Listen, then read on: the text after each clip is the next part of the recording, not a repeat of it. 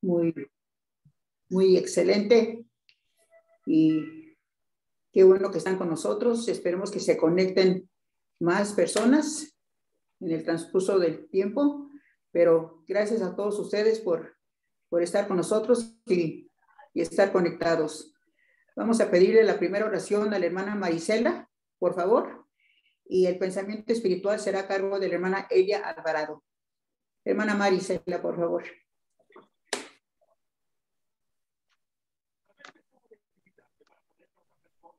Sí, gracias, hermana. Nuestro bendito y amado Padre Celestial, en esta noche inclinamos nuestros rostros para agradecerte tantas bendiciones que nos das día a día, que nunca nos dejas sin comer y que siempre nos, nos das lo necesario. Ahora te pedimos por el hermano agrícola que nos va a proporcionar de su conocimiento que siempre es tan, tan lindo en, enseñarnos y, y, proporcionarnos cosas que del Padre Celestial y de Jesucristo que quiere que sepamos. También pido por todos los hermanos que están conectados y por los que faltan que conectar. Pido también por los hermanos en necesidades grandes y por todos los enfermos. Agradezco todo, todo lo que el Señor nos provee y nos da. Todo esto lo pido no antes pedir perdón por nuestras faltas y lo pido en el bendito y sagrado nombre de nuestro Señor Jesucristo. Amén. Amén. Hermanos, buenas noches. Después de mucho tiempo de no estar conectada, agradezco la oportunidad de compartir un pensamiento espiritual con ustedes. Eh, mi pensamiento espiritual se basa en primer de Nefi 11, 25 y dice, y aconteció que vi que la barra de hierro que mi padre había visto representaba la palabra de Dios, la cual conducía a la fuente de aguas vivas o árbol de la vida.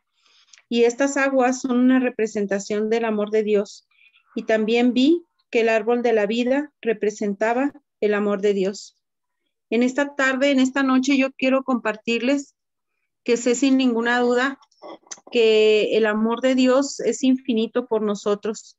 En estos tiempos tan difíciles en el que estamos viendo grandes desafíos mundiales, solamente puedo decirles que el estar aferrados al Evangelio, a esta barra de hierro que el Señor nos ha proporcionado.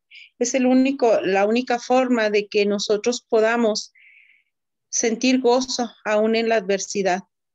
Testifico que nuestro Padre Celestial nos ama, que el árbol de la vida representa el amor de Dios. Eh, la semana pasada tuve la oportunidad de estar en México y de poder asistir al templo y encontré una pulserita muy simpática que específicamente trae una medallita del árbol de la vida. Y sentí un gran deseo de tenerla y de compartirla a algunos seres queridos. Y pues, no sé, hoy siento la inspiración de hablar de ello. Sé que el Señor nos ama, que Él es un Padre amoroso. Sé que estamos viviendo tiempos, como lo dice el libro de Mormón, en el que se hablará de guerras o de posibles guerras. Y sé que cuando estamos pendientes de nuestros hermanos, estamos mostrando el amor que también que podemos sentir por nuestro Padre y a la vez replicando el amor que Él siente por nosotros. Sé sin ninguna duda que el Evangelio es verdadero y para mí es un gozo poder participar de un grupo donde nos enseñan grandes conocimientos y que refuerzan los que ya tenemos. Y es mi pensamiento en esta tarde y lo comparto en el nombre de Jesucristo. Amén. Muchas gracias, hermana Elia y hermana Marisela. Pues ahora este, pasamos a lo, a lo que todos estamos esperando con nuestro querido hermano, obispo maestro, eh, Agrícola Lozano, que tiene un tema muy interesante para nosotros esta noche. Todos lo conocemos, un gran hombre, un estudioso de las escrituras, una persona que, que investiga y estudia y es maestro de seminario, de instituto, perdón, y él tiene mucho conocimiento. Me consta porque participo en sus clases de instituto y tenemos el gusto de, de presentarle a ustedes al hermano Lozano este, esta noche y que podamos aprovechar todo el conocimiento que él nos va a impartir ahora. Hermano Grico Lozano, es su tiempo de usted, maestro. Gracias, maestra Valderas. Buenas noches, amigos, hermanos, eh, algunos que este, se acaban de conectar. Javier Urquizo, qué gusto, Javier, qué gusto, qué gusto. El obispo Juan Pablo, más de mucha ayuda. Benjamín Galindo, el estrella, el jugador de la selección. Ah, qué honor, qué honor, muy bien. Sofía, Enrique, Pedro Báez, Poco, Erander y Juárez, bienvenida. Muy bien, muy bien, hermanos. Bueno, pues este, somos 35, ojalá que puedan eh, conectarse más.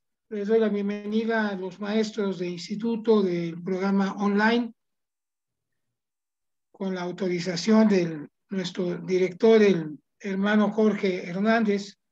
Le envié la invitación y hay algunos maestros aquí, es un honor que estén con nosotros. Eh, ese es un tema muy interesante, hermanos, y quisiera compartir con, con ustedes lo que, lo que me llevó a, a investigar, a tener varias líneas de investigación y a escudriñar la escritura. Uno es el, el ejemplo de mi padre. Muchos conocieron tal vez a, mi padre, muchos han oído hablar de él, tal vez por sus padres, sus abuelos. Él era un hombre muy estudioso de las escrituras. Y segundo, leyendo uno de los libros del doctor Hugh Nibley, el hermano Nibley, el, el maestro de, de, todos los investigadores, ¿verdad?, que hay actualmente en las fundaciones que publican este, sobre la iglesia, ya sea sobre en Joseph Smith, en Joseph Smith Papers, en, este, en el Instituto Maxwell, en Interpreters, este, en la Fundación Apologética, en FAILS, todos ellos eh, abrevaron el conocimiento del hermano Nibley. Y en uno de sus libros, que no me acuerdo cuál, pero sí en uno de sus libros, tiene como 15, 16. Hay una, hay una frase que para mí ha sido como una apotecma. Y eso me ha llevado y me, me caló tan profundo que siempre cuando doy clase del libro de Mormón o algún otro tema, le pido a mis alumnos que lo apunten. Y dice lo siguiente. El libro de Mormón se lee entre líneas y a la luz del Espíritu. Así de sencillo. El libro de Mormón se lee entre líneas y a la luz del Espíritu. Aquí nos podríamos llevar 10 minutos, 15 minutos, escudriñando nada más esta frase del hermano Nible. Y yo lo que es muy claro, hermanos, lo que yo entiendo es que hay que estudiar, hay que escudriñar, hay que ir a, las, a los pies de página, hay que ir a los libros de historia, hay que ir a las enciclopedias, hay que ir a los ensayos, hay que ir a los tratados, hay que ir a las escrituras. Y después de la investigación viene la revelación personal. Viene la inspiración y viene la luz. Como decía el presidente Romney, la luz de la madrugada, o como decía el presidente Hunter. Muy temprano, ellos eh, estudiaban muy de madrugada, viene la revelación. Y entonces entendemos muchos conceptos, por eso muchos eh, lo hemos expresado en tal vez nuestros testimonios. Un día leímos una escritura y tres años después volvimos a leerla y encontramos cosas diferentes. Y por eso el libro de Mormón, hermanos, es inagotable, inagotable, inagotable. Te lo hoy te nos vamos a dar cuenta. Al detenernos en una escritura que nos podía llevar una hora debatiendo, una hora escudriñando, nada más una sola escritura. Esa es la dimensión, la calidad y el alcance del libro de Mormón. Y eso que nada más tenemos una tercera parte. Y eso que nada más tenemos un compendio. Porque nos faltan las dos terceras partes que están selladas y faltan los anales, las fuentes primarias, de donde los historiadores hicieron el compendio. Nada más hay que, hay que recordar, y esto creo que lo, lo mencioné en mi clase de Fundamentos de la Restauración, este pasado martes, el relato que, que le dio Oliverio Cowdery al, al, presidente Brigham antes de morir. Cuando regresó Oliverio a la iglesia después de 10 años de estar excomulgado, eh, hay eruditos que dicen que no debió haber sido excomulgado, que se le, se, se le cargó la mano, pero bueno, ese es otro asunto y otro tema que hay que tratar con mucho cuidado y mucho conocimiento. Y entonces el, presidente Brigamian le dice, a ver, Oliverio, platícame. Y le hace un montón de preguntas, muchas preguntas. Y entre esas preguntas le dice, ¿dónde están las planchas? Y entonces Oliverio le relata el viaje que tuvo con el profeta dos veces, dos veces al cerro de Cumora. Muchos ya lo han leído, pero ese relato, muchachos, eh, está desde hace como 40 años, si no es que más, en el viejo eh, manual de estudio individual supervisado, los que llevamos ese, ese curso. Ahí viene ese relato. Y hace poquito, en, la clase de fundamentos, eh, alguien lo subió y viene un relato más completo del que viene en el estudio individual supervisado. ¿eh? Y bueno, eh, saben ustedes, no, no me voy a detener mucho que llegan, llevan las planchas, el profeta y Oliverio, y entonces se abre el cerro de Comora. Muchos dicen que se abre una puerta, pero se abre y entran ellos dentro del cerro de Comora. Y hay un, hay un, hay, un, pues un pasadizo, hay un túnel. Y dice que había varios cuartos. Y había un cuarto que estaba iluminado. Y dice, ya en la descripción que compartieron este, e, e, este jueves, creo, más completo del que está en el estudio de supervisado. Dice que había una mesa muy grande, una mesa larga, de esas mesas largas. Y entonces estaba eh, apilado, apilados sobre la mesa varios anales. Y abajo de la mesa había anales. Y en la esquina había anales. Y en la, en la pared estaba la espada de Labán, envainada. Fíjense qué interesante, hermanos. Y la segunda vez que van, si está Ernesto Pelé, nuestro bibliotecario de cabecera, de seguro nos va a dar la fuente. Él es un erudito en, en fuentes, hermanos, y un traductor también, Ernesto Pelé. Y entonces, en la segunda ocasión que van, que no sé a qué, a qué fueron, si él había entregado las planchas al ángel, eh, la espada ya no está en la pared, está sobre la mesa. Y entonces aquí viene lo rico que es de la historia oral. Hay unas versiones, me parece una de ellas es de Wilford Woodruff o de presidente Taylor, donde dice que se oyó una voz que decía, esa espada será envainada hasta la llegada del Hijo del Hombre. Y hay otra versión donde dice que apareció una leyenda en el canto de la espada y decía lo mismo, más o menos, más o menos lo mismo. Sí, pero Y, este episodio, hermanos, podemos aquí llevarnos media hora. Todo, nada más de ese episodio. Todas las planchas que describe el profeta, bueno, que describe Oliverio, porque es el testimonio de Oliverio, que, lo, da y después ya muchos lo, duplican, lo escriben, lo interpretan. Fíjense nada más cuántas planchas. Si estaba llena una mesa y estaban abajo y había en la esquina. Planchas apiladas. Y creo que otro, y creo que dice la versión otra clase de documentos.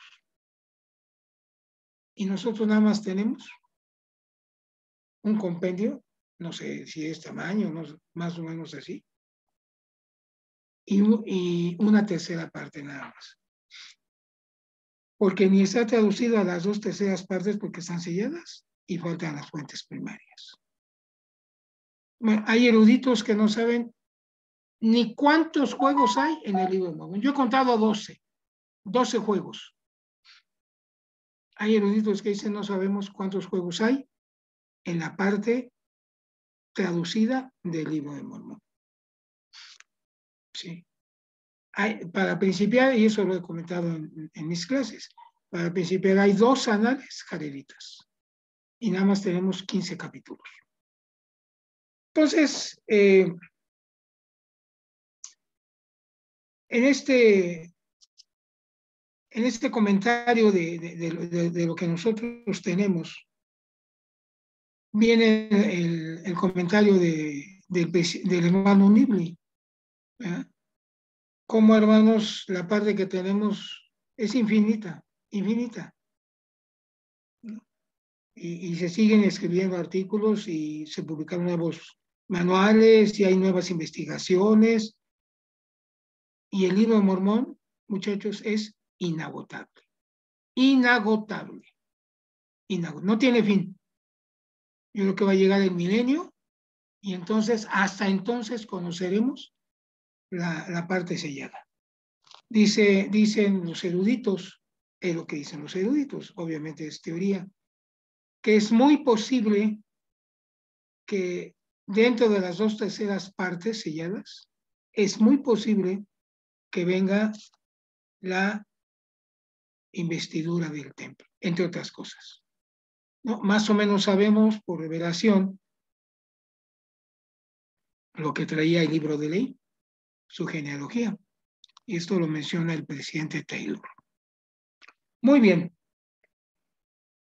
Cuando yo leí eh, esta parte, mi estudio, muchachos, está basado en un artículo de un erudito de lo que era FARMS, que era la Fundación, la Foundation Answer Research and Mormon Studies la Fundación de Estudios Antiguos y Mormones, del Antiguo, estudios de, de la antigüedad y estudios mormones. Es lo que cambió hace unos años y ahora es el Instituto Maxwell. Este erudito se llama Val Larsen. Cuando yo leí hace más de 20 años este artículo, me quedé muy sorprendido, muchachos. Tardé casi un año en traducirlo y en leerlo bien. Es un artículo de 17 páginas. Y entonces me di cuenta, yo tenía como 42 años, ahora tengo 62, que realmente no sabía absolutamente nada. Queda un neófito y un ignorante cuando leí este artículo.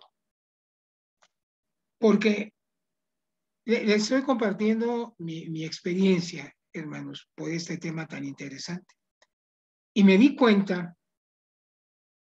que la ejecución de Labán es un parteaguas, es el principio, no es el parteaguas, es el génesis del libro de Mormón.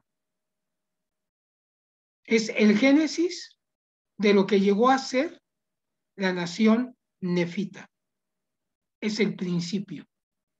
Y entonces me di cuenta que antes de seguir y para comprender nada más este hecho histórico, tenía que sumergirme en el Antiguo Testamento para comprender el contexto de, tres, tres elementos históricos. La ciudad de Jerusalén, el reino de Judá, el reino de Judá y el pueblo de Judá, porque son dos cosas completamente diferentes. En términos de ciencia política, nación, reino, tribu, clan, estado, son dos conceptos completamente diferentes. Norberto Bobbio, en su diccionario maravilloso de ciencia política, da una referencia maravillosa de cada uno de estos conceptos. ¿Sí? Y yo les sugiero a, ustedes oyentes, somos 47, como les sugiero a mis alumnos, que podamos estudiar estos conceptos para poder entender bien el contexto de las escrituras. Y no solamente el libro de Mormón, hermanos, sino para entender el contexto en que nació el Señor. Poder entender lo que es una monarquía. Yo, le, yo, yo acuñé ese término, esa es mi aportación a la historia y a la investigación. Y lo consulté con mi maestro Reinaldo Martínez, no sé si esté aquí o no, que son monarquías dinásticas porque puede haber monarquías que no son dinásticas. Pero en este caso, en el caso, por ejemplo, del libro de Mormón, en el caso de la, de la familia real de la monarquía davínica del reino de Judá, incluso entre la, los, las familias de los platonis mexicas, son monarquías dinásticas porque son por dinastías. Si no es el papá, es el hijo, si no es el sobrino, es el tío, es el abuelo, son dinastías. Y no se diga, no se diga Egipto. Son dinastías. Sus 32 dinastías y sus siete etapas son dinásticas. Inclusive hasta, hasta las, hasta las, los faraones o las, las dinastías que llegaron a gobernar extranjeras en los periodos intermedios, en los tres periodos intermedios. Son dinásticos. Inclusive los Ixos son dinásticos. Bueno. Ya en, en, base a esto, eh, ok. Entonces me di cuenta que tenía que estudiar y tenía que comprender la dinámica la metamorfosis, el paso por las etapas y los periodos de historia de, de Israel.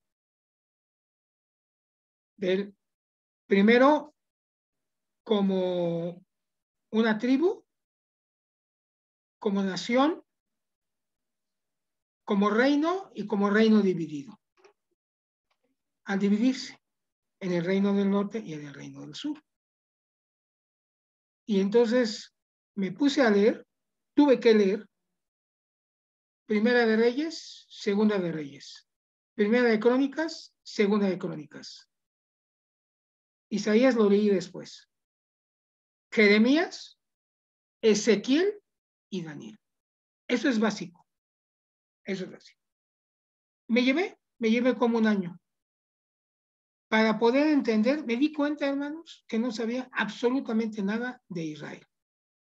Y entonces me metí, me sumergí. Y quiero compartir, hermanos, que encontré cosas maravillosas, como mencionaba nuestro erudito Moroni Gaona. Sí. El Antiguo Testamento es una cosa aparte. Maravilloso, muy largo, muy denso, yo les he pedido a mis alumnos, y lo comparto con ustedes, que desarrollen una línea de tiempo, hermanos.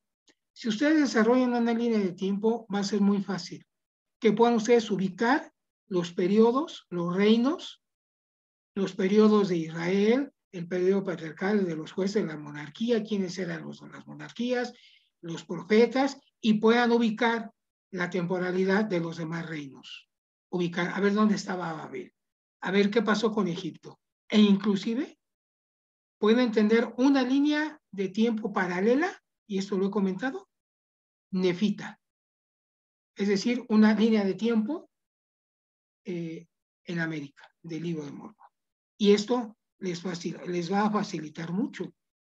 Yo hice eso y traté de hacerlo, lo agregué con una línea de tiempo de Mesoamérica, para poder compaginar la línea de tiempo de, Mesoamérica, el preclásico, el, el, clásico y el posclásico, y es el temprano y el tardío. En, eh, muy, muchos eruditos, muchos estudiosos dividen inclusive el temprano y el tardío en, varias, eh, en varias etapas. Aquí está Ajax, él lo ha de manejar muy bien. Pero bueno, y, es maravilloso, hermanos, es maravilloso porque nos ubicamos bien, sobre todo el Antiguo Testamento, que lo estamos viendo en este año, es muy denso y nos perdemos. A veces no sabemos cuándo fue Moisés, o cuándo fue el Éxodo, o cuándo fue Jeremías, los profetas menores, porque muchos de los libros están puestos anacrónicamente, sobre todo los profetas menores. Bueno, lo que se le llaman los profetas menores. ¿Todo bien? Muy bien.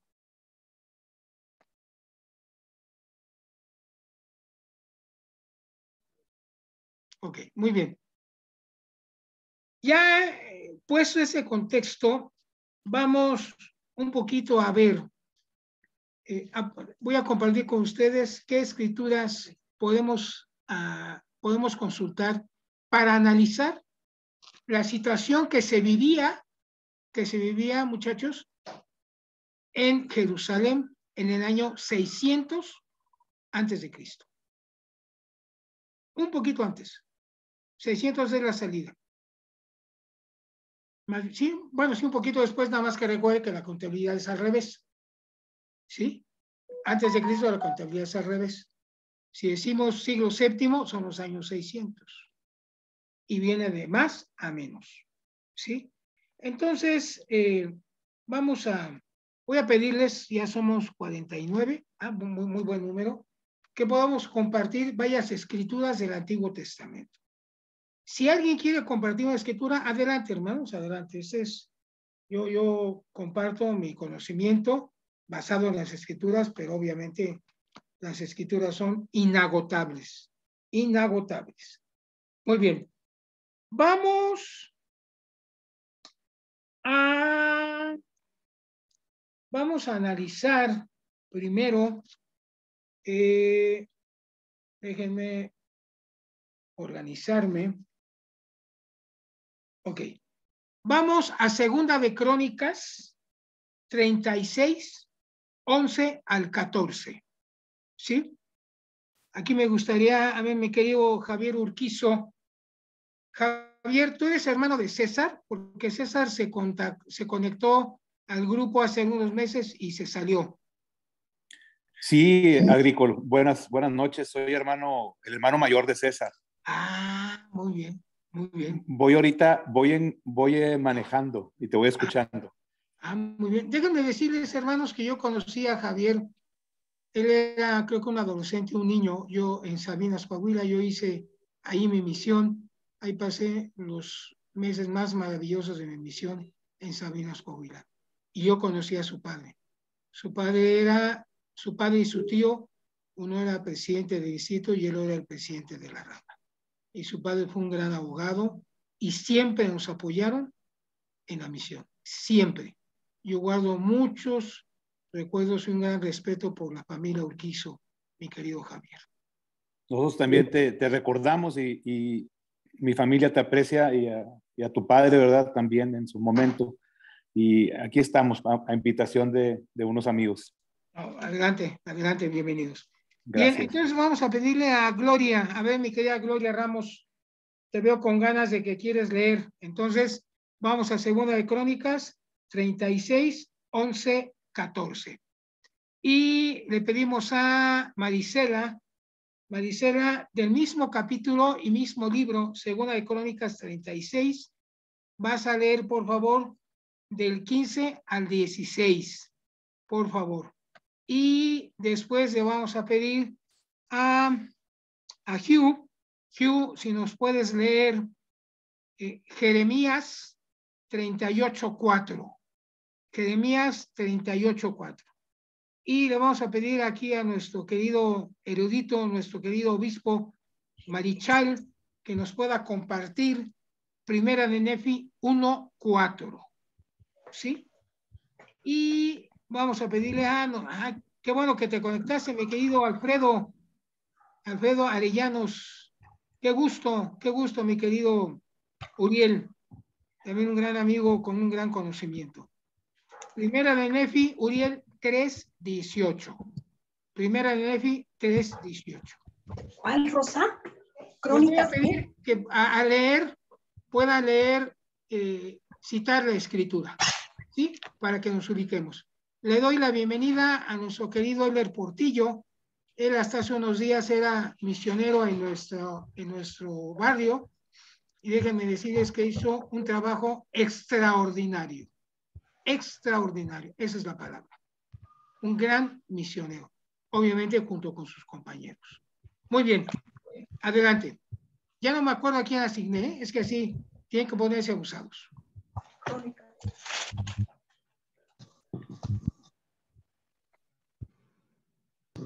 Gracias, hermano. ¿Qué pasó, hermanos, con la asignación?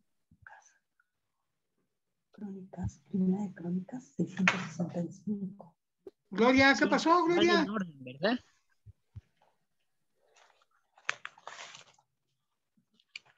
Bueno, ¿quién tiene segunda de Crónicas 36, 11 al 14? Yo. A ver, mi querido Jael. Sí. Ah, del 11 al 14, ¿verdad? Sí, sí. Nos vamos a ir deteniendo, hermanos, para que todos estemos, llevemos este, la, la, lectura conjuntos, ¿sí? Sale. Sedequías tenía 21, 21 años cuando comenzó a reinar y reinó 11 años en Jerusalén. E hizo lo malo ante los ojos de Jehová, su Dios, y no se humilló delante de él. Delante del profeta Jeremías, del que habla de parte de Jehová. Se reveló a Espérame, espérame, espérame, mi querido Fíjense qué interesante, hermanos. Son muchas las fuentes que citan esta situación. Lo cita Segunda de Reyes, lo cita Crónicas y lo cita Jeremías. Y creo que también Isaías. No, no, Isaías creo que no. Bueno, esos tres citan esta situación. ¿Sí? Describen muy bien esta situación. Que la familia del monarca no escuchó al profeta Jeremías. Y lo, cita muy específicamente. Dice que no se humilló. ¿Sabían ustedes, hermanos, que Jeremías le dijo a Sedequías, le dijo, ríndete ante Nabucodonosor y él te va a perdonar la vida? Creo que está en Jeremías. Y Jeremías no le hizo caso. No le hizo caso. Y, Jeremías le profetizó la muerte de sus hijos. Y finalmente terminó encadenado en un calabozo profundo en Babilonia. Ese fue el fin de Sedequías. Ciego, porque Nabucodonosor le sacó con sus manos los ojos. Seguimos, seguimos leyendo se rebeló a sí mismo contra Nabucodonosor, quien le había hecho jurar fidelidad por Dios y endureció su servicio y obstinó su corazón para no volverse a Jehová, el Dios de Israel. Fíjense, ve, ve tantito. Solamente un, un loco, un demente, un soberbio, se iba a rebelar contra el imperio más poderoso en ese entonces, que era el, el neobabilonio. Porque esa es una acepción correcta, muchachos. Esta parte de este imperio es el imperio neobabilónico. Es la nueva Babilonia. porque Babilonia ya, ya tenía muchos, cientos de años de existir. Desde, y bueno, lo menciona Abraham, los caldeos e, eran los babilonios. Abraham huye de Ur de los caldeos, que sí, huye ¿qué? de los babilonios. Los caldeos es la primera etapa histórica de Babilonia. La última etapa es lo que los historiadores le llaman neobabilonios. ¿Y qué es la última? Es la última etapa porque ellos caen conquistados por los persas. Muy bien. Eh, terminamos, Jared. Adelante. Y también todos los principales sacerdotes y el pueblo aumentaron la iniquidad, siguiendo todas las abominaciones de las naciones y contaminando la casa de Jehová, la cual él había santificado en Jerusalén. ¿Qué descripción tan clara, muchachos, nos hace este versículo? Aquí está la descripción de cuál era la situación no solamente del pueblo de, Jerusalén, sino de las élites. Algo que, que, existía en ese entonces y que existió y que se dio también o que permaneció, que continuó durante el periodo intertestamentario, muchachos, es la complicidad, yo le llamo la complicidad, entre el círculo sacerdotal y el círculo monárquico se hicieron cómplices un solo poder, que fue el que enfrentó y el que nació cuando, el que estaba cuando el Señor nació. Bueno, pues aquí también había una gran complicidad entre la élite monárquica y la élite sacerdotal. Aquí lo dice. Dice, los principales sacerdotes, pero también, muchachos, dice ahí, el pueblo. El pueblo también, siguiendo todas las abominaciones de las naciones. ¿Cuáles naciones, muchachos? Pues los reinos estados cananeos, ¿sí? Todos los moabitas, los filisteos, este, los de Tiro, los eteos, todos ellos que eran cananeos, eran los que se menciona aquí. Dice, y contaminaron la casa de Jehová. Nada, no, no, no, no vamos a ir a leer eso. Aquí se contaminó la casa de Jehová. Nada más hay que leer del capítulo 8 y el capítulo 9 de Ezequiel para darnos cuenta lo que había, lo que la clase sacerdotal tenía en el templo. Esto, esta lectura ya la hemos hecho con algunos de mis alumnos.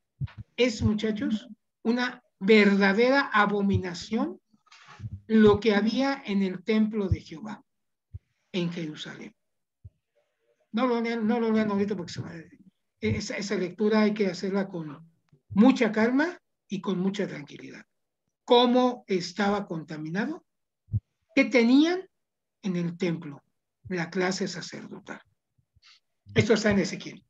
No lo vamos a ver hoy. Hermano, perdón. Porque Ezequiel, ¿qué? Perdón, en Ezequiel, ¿qué? Para poderlo leer después, por favor.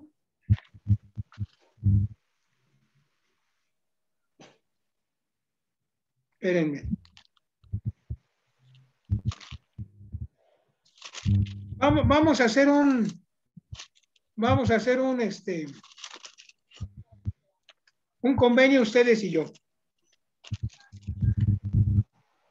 Digo que finalmente puede ser que, que, que no sean obligados, pero es en el capítulo 8 de Ezequiel. Pero vamos a hacer algo. Gracias. Léanlo después de leer y analizar todas las escrituras que, que vamos a leer y de leer Jeremías. Está bien, hermano. Es un capítulo muy duro, ¿eh?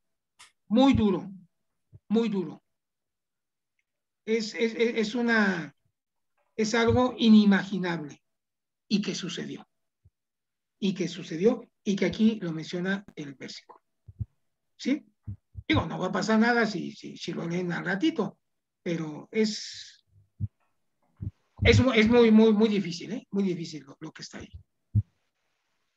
Parte de eso voy a hablar en una, una conferencia que me invitaron mis alumnos de los martes de Instituto Online. El viernes están invitados. Voy a hablar sobre, ya esta conferencia ya la di el año pasado, pero ya ahora viene un poquito mejor, con nuevos conocimientos, las sociedades secretas en el libro de Mormón. ¿Mm? Bueno, ¿terminamos de leer el, el Portillo o ya terminaste? Sí, terminamos de leer. Ah, bueno, ok. Entonces, así estaba la situación, muchachos. Esa era la situación de las élites, del pueblo y de la casa de Jehová. ¿eh? Muy bien. Vamos a, los siguientes versículos. ¿Quién, quién lee?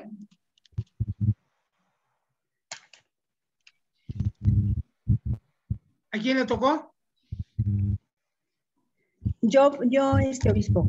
Pues órale, Marcela. Y Jehová, el Dios de sus padres, envió a ellos palabras por medio de sus mensajeros, levantándose de mañana y enviando porque él tenía misericordia de su pueblo y de su morada. Fíjense, véame, Maricela, fíjense, muchachos. A ver, vuelve a leer otra vez el versículo, Maricela, por favor. Y Jehová, el Dios de sus padres, envió a ellos palabras por medio de sus mensajeros, levantándose de mañana y enviando por él, por él tenía misericordia de su pueblo y de su morada. O sea, que todavía lo que había y como el pueblo, Jehová envió mensajeros con misericordia y perdonando lo que había en su habitación. ¿Qué? ¿Cuál es la habitación de Jehová? El templo. ¿No? Fíjense nada más la, misericordia de, de, Jehová. Seguimos leyendo, Maricela. Pero ellos se mofaban de los mensajeros de Dios y menospreciaban sus palabras, burlándose de sus profetas, hasta que subió la ira de Jehová contra su pueblo y que no hubo ya remedio. Ya no hubo ya remedio. Qué duro y cuánta misericordia, misericordia de Jehová. Fíjense nada más, muchachos. Perdona, perdona la comparación, pero es que es como si nosotros llegamos un día al, templo, el templo donde ustedes estén, y, y, encontramos en la escalinata pues una imagen de la Santa Muerte, ¿no? O un grafiti o encontramos a Malverde así de ese tamaño. O sea, para nosotros es impensable. Bueno, sucedió. Y, todavía el Señor tuvo misericordia enviando a sus mensajeros. Cuánta paciencia del Señor. Seguimos. ¿Quién sigue? Por lo cual trajo contra ellos. Ah, perdón. No, ya. ¿Cuál, cuál, cuál sigue, muchachos? Pues no sé si continuó con el 17, obispo. No, no, no, no, nada más hasta ahí. Ah, ok. Bien, la, siguiente asignación que di. ¿Quién, ¿Quién, por favor?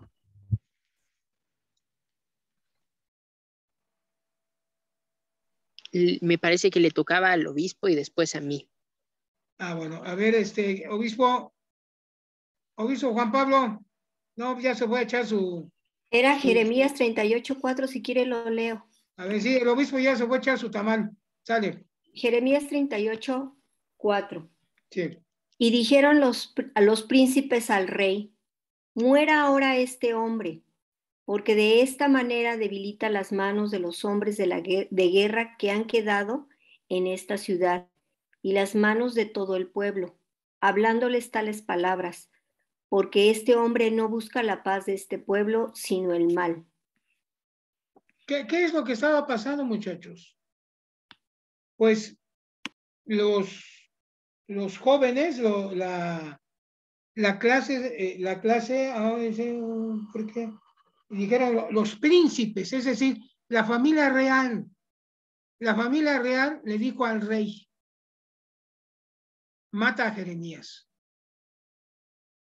porque él no escuchó a los ancianos, aquellos que le daban consejo a su padre, sino fue con los príncipes es decir, con los jóvenes, con los que no tenían experiencia, los que estaban contaminados, y ellos le dieron ese consejo. aquí lo dice. Hablando de ¿por qué este hombre no busca la paz? Imagínense nada más, muchachos. Ese era el consejo de la generación nueva que estaba en el poder. ¿Sí? Muy bien. Siguiente versículo, siguiente escritura. ¿A quién le toca? Ah, creo que ahora es primera Nefi 1 al 4. ¿Quién? Sí, a mí. Adelante, Uriel. Eh, primera de Nefi 1, eh, ay, es que se salió. 34, 18. No, es primera de Nefi 1, 4. A ver, perdón. Primera Nefi. 1, 4. Ah, ok, ok. Eh, dice,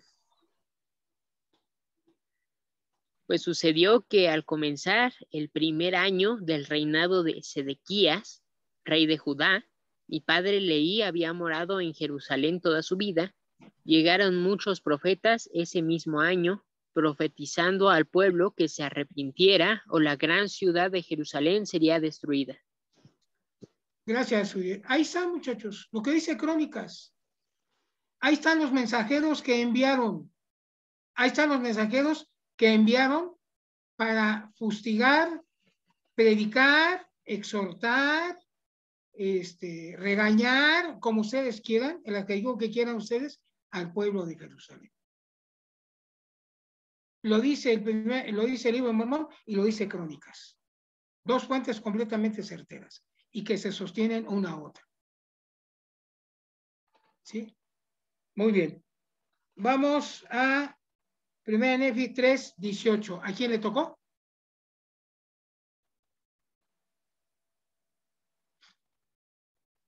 Quien lo tenga. Ya somos 50, buen número. Buen número. A ver, este, Alfaro, adelante, Gerardo. Lo tengo. Adelante. Primer Nefi 3.18. Sí. Pues he aquí, ha rechazado las palabras de los profetas.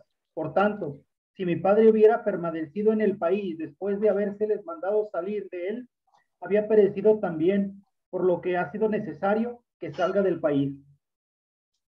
Fíjense nada más, otra vez, otra vez, por favor.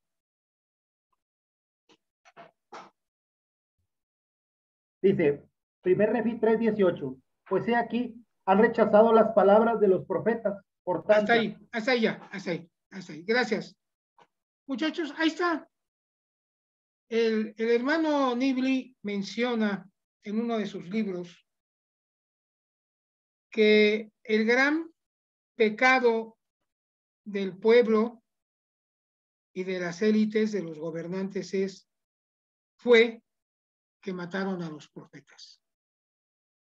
Y no es uno solamente, muchachos. No es uno. Adelante, Sofía. Suerte. No es uno, muchachos.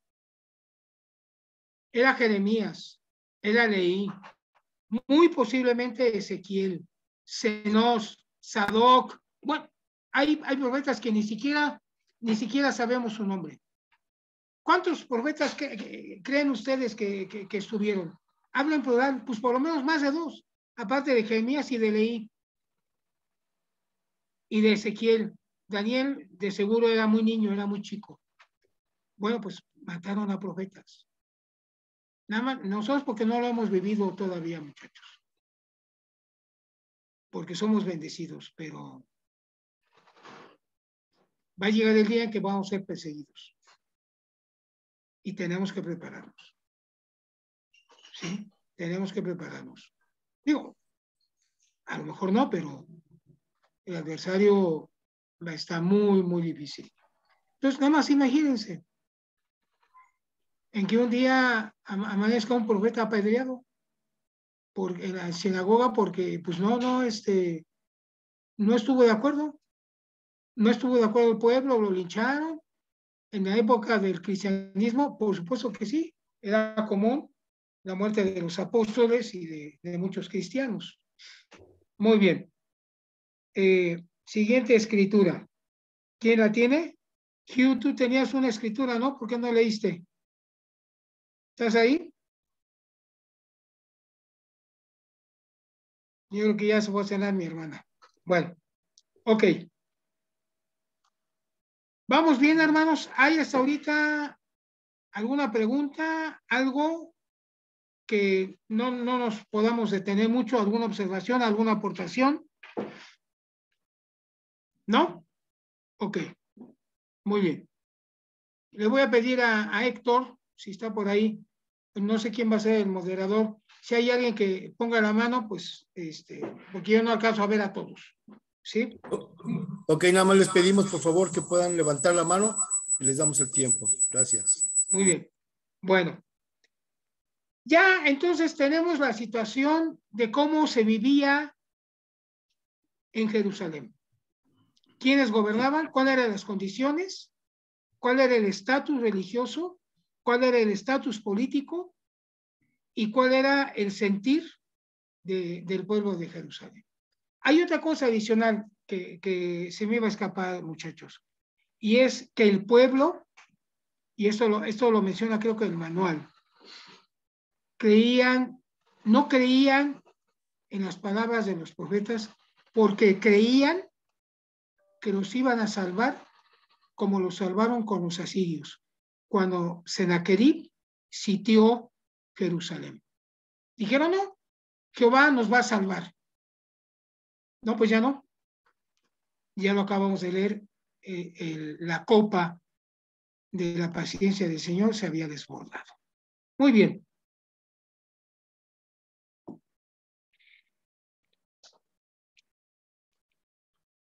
¿Quién era Labán? ¿Quién era Labán? Vamos a las siguientes escrituras. Vamos a Primera de Nefi, capítulo 3, muchachos, por favor. Vamos a pedirle a Enrique Tejada. Enrique, si nos puedes compartir sí. Primera de Nefi, capítulo 3, versículo 3. Después le pedimos a Benjamín, Benjamín Galindo, vengas, si nos puedes leer igualmente el versículo 4. ¿Sí? Hola, obispo, vengo manejando. Ah, vengo... Ok, muy bien. Vamos a pedirle a Ruth, Ruth Sánchez, Ruth, si nos puedes leer el versículo 4 de 1 Nefi, capítulo 3. Versículo 4. Vamos a pedirle a Erandeni Juárez, Erandeni, si nos puedes leer el versículo 12, por favor. Sí, Pedro, Pedro, si nos puedes leer el versículo 13, por favor. Sí, y vamos a leer el versículo 31. Vamos a pedírselo a Ajax.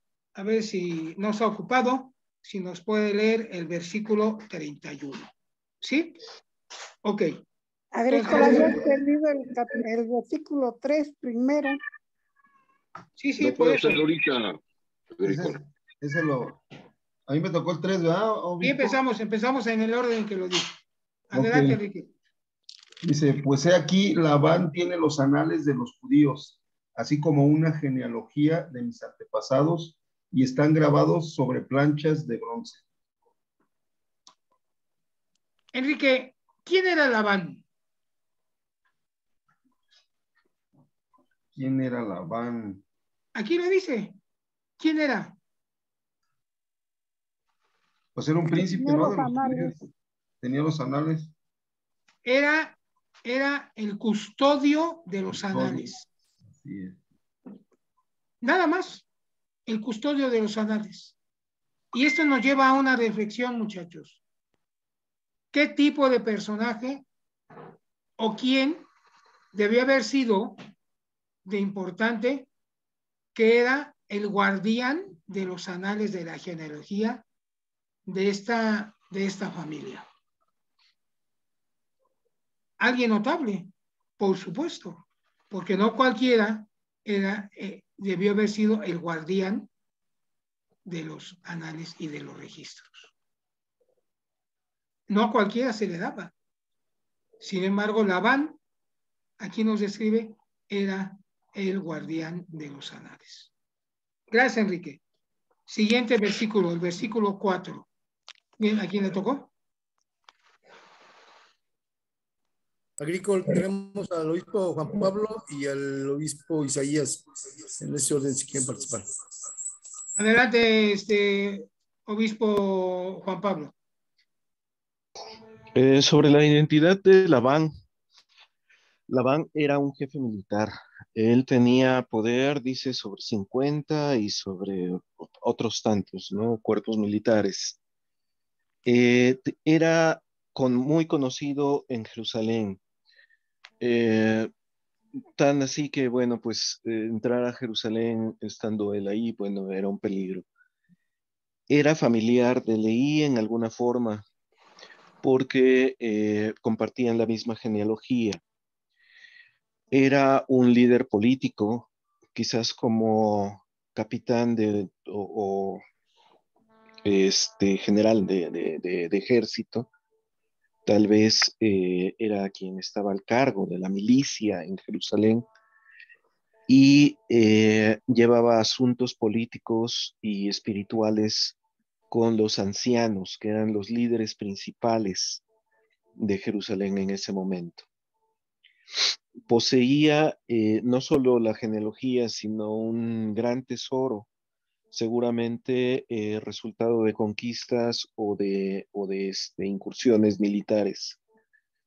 Eh, entonces, vemos allí a una persona de notable influencia, rica, muy conocida, con mucho poder, eh, a, tal grado que, bueno, eh, era un poderoso enemigo.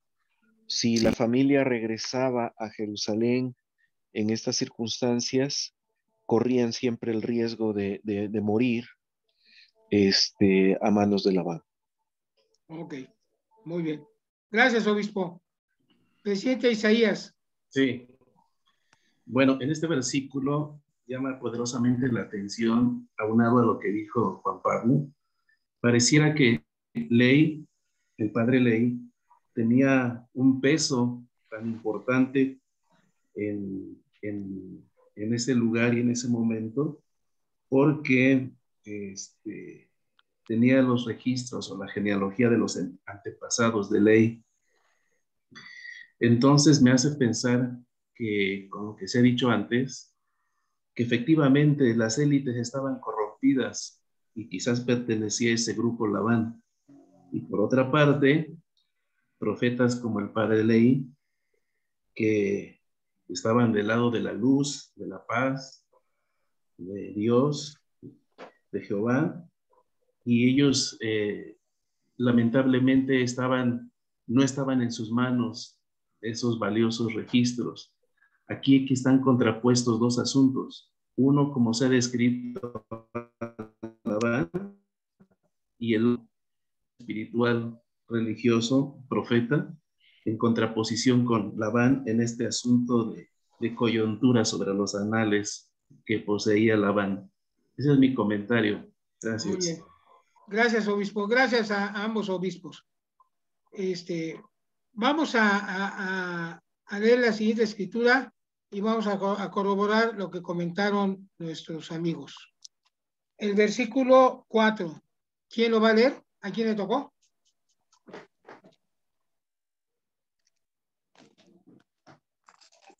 Ahí está en el chat la asignación de cada ¿A quién le tocó el versículo 4? A la hermana Ruth. La hermana Ruth. Ruth, ¿qué pasó, Ruth? Bueno, quien lo tenga en la mano. A ver, adelante.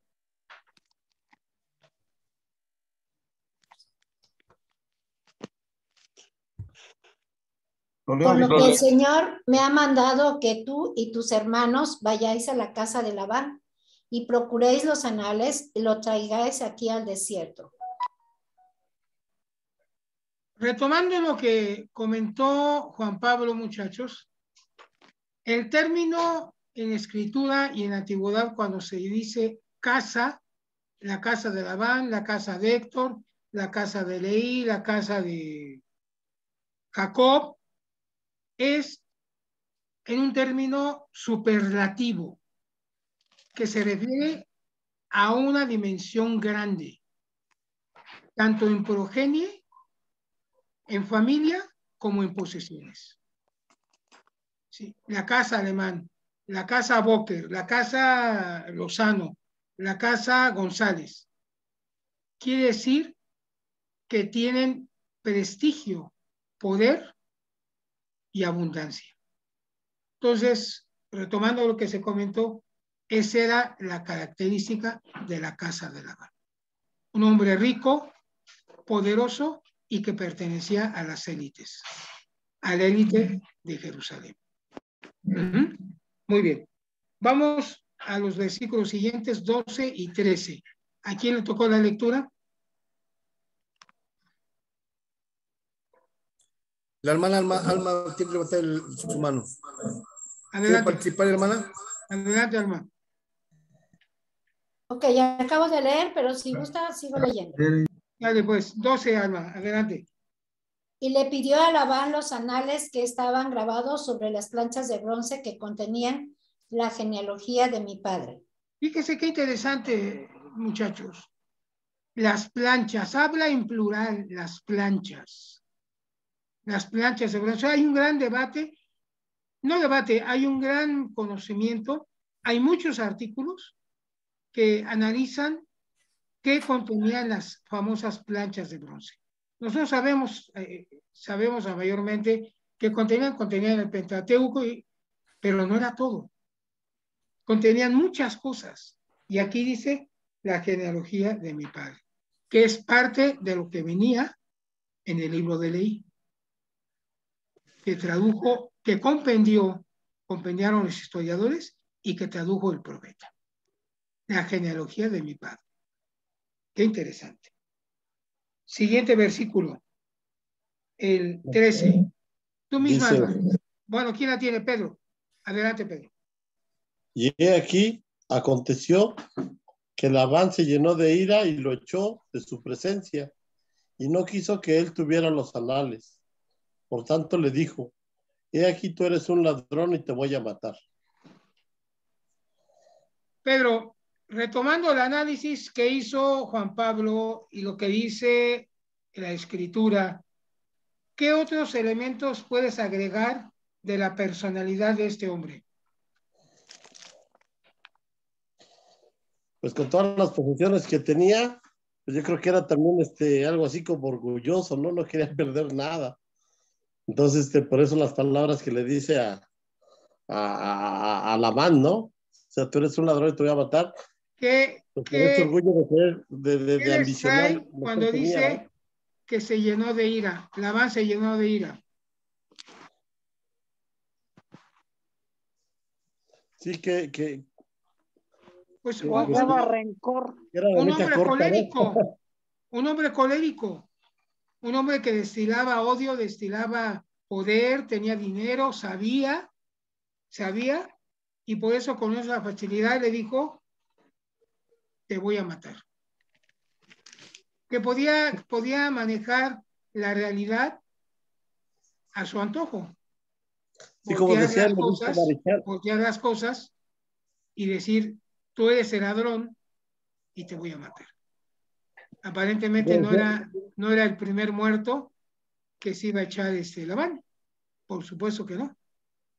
Como decía el obispo Marichal, acostumbrado a mandar a tanta gente, Así pues es. este, estaba acostumbrado a eso, ¿no? A mandar y hacer lo que él quería, ¿no?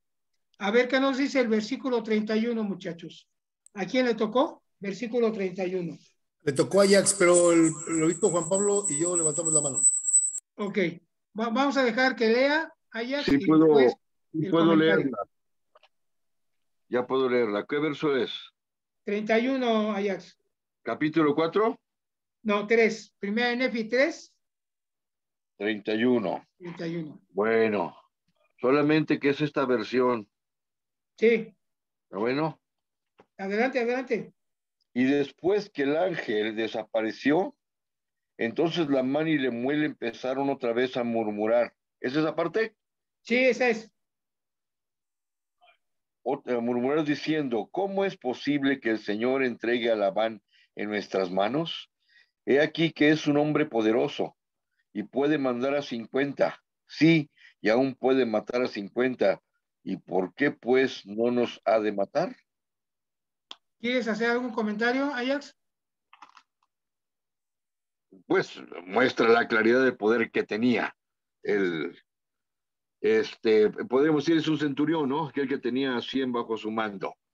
Pero además tenía el poder de mandar ejecutar. Eso es muy, muy claro. Y no matar a uno, matar a 50 si lo quería, si no es que a sus propios que estaba bajo, bajo su mando. Así es. Muy bien. Gracias, Ajax. Este, Juan Pablo, ¿quieres comentar algo? Héctor. Coincido con el, el punto de vista del hermano Ajax. Era un hombre prepotente, era corrupto, definitivamente. Eh, es de pensarse qué reuniones tenía ahí con los ancianos que tanto Ahorita vamos a eso, mi querido Juan Pablo. Entonces, vamos eh, a eso. eso, ese tipo de combinaciones hace ver eh, el tipo de influencia que él tenía y también era prepotente, aparte de corrupto, era prepotente. Era ese tipo de persona que te invita a comer y que si no le caes bien, de repente, tajantemente, cambia de carácter y te, y te inve- inventa una historia. He tenido algunas experiencias en las cuales he visto a personajes, eh, bueno, en algunos lugares gubernamentales o, o- o- o jurídicos, inventar historias con una facilidad increíble para incriminar gente, para, para generar chivos expiatorios. Aquí Labán estaba así echando mano de la ley de Moisés y justificando su propio crimen. Él ya estaba imputándoles a ellos crímenes para justificar el propio. Muy bien. Entonces, esa pericia que él tenía, eh, como usted dice, hermano, seguramente no era la primera vez que él lo hacía, porque, porque tenía una facilidad una extraordinaria. para que me encargues mi Raquel, tu micrófono, apágalo. Micrófono. Seguimos, obispo. ¿Ya terminaste? Sí, sí, obispo. Gracias, obispo. Gracias. Héctor. Una de las cosas que también te- tenía Labán, él que él conocía lo que había en los anales. Y al, el tener conocimiento tanto de su genealogía como la genealogía de ley y todo esto, es muy seguro, muy posible que él haya tenido que ver con la, el gobierno, la forma de gobernar en Jerusalén, tener un, un- un rango alto para poder tener el poder de mandar ejecutar a la gente y por consiguiente, sin ninguna duda, él participaba de algunos eventos religiosos en su tiempo. Pues co- como dicen algunos, algunos este, comunicólogos, era una finísima persona, ¿no? Un personajazo. Muy bien. Vamos ya a entrar al hecho histórico que nos trae hoy, muchachos. E- ese es mi, digo, no, no, yo no estoy dando la verdad absoluta, pero me parece que de los momentos, de los momentos coyunturales que tiene el texto del libro de Mormón, el que conocemos, hasta ahorita lo que conocemos, este es uno de los importantes. Este es uno de los importantes. Claro, por supuesto que el mayor momento histórico es la visita del Señor, eso es, eso es inobjetable.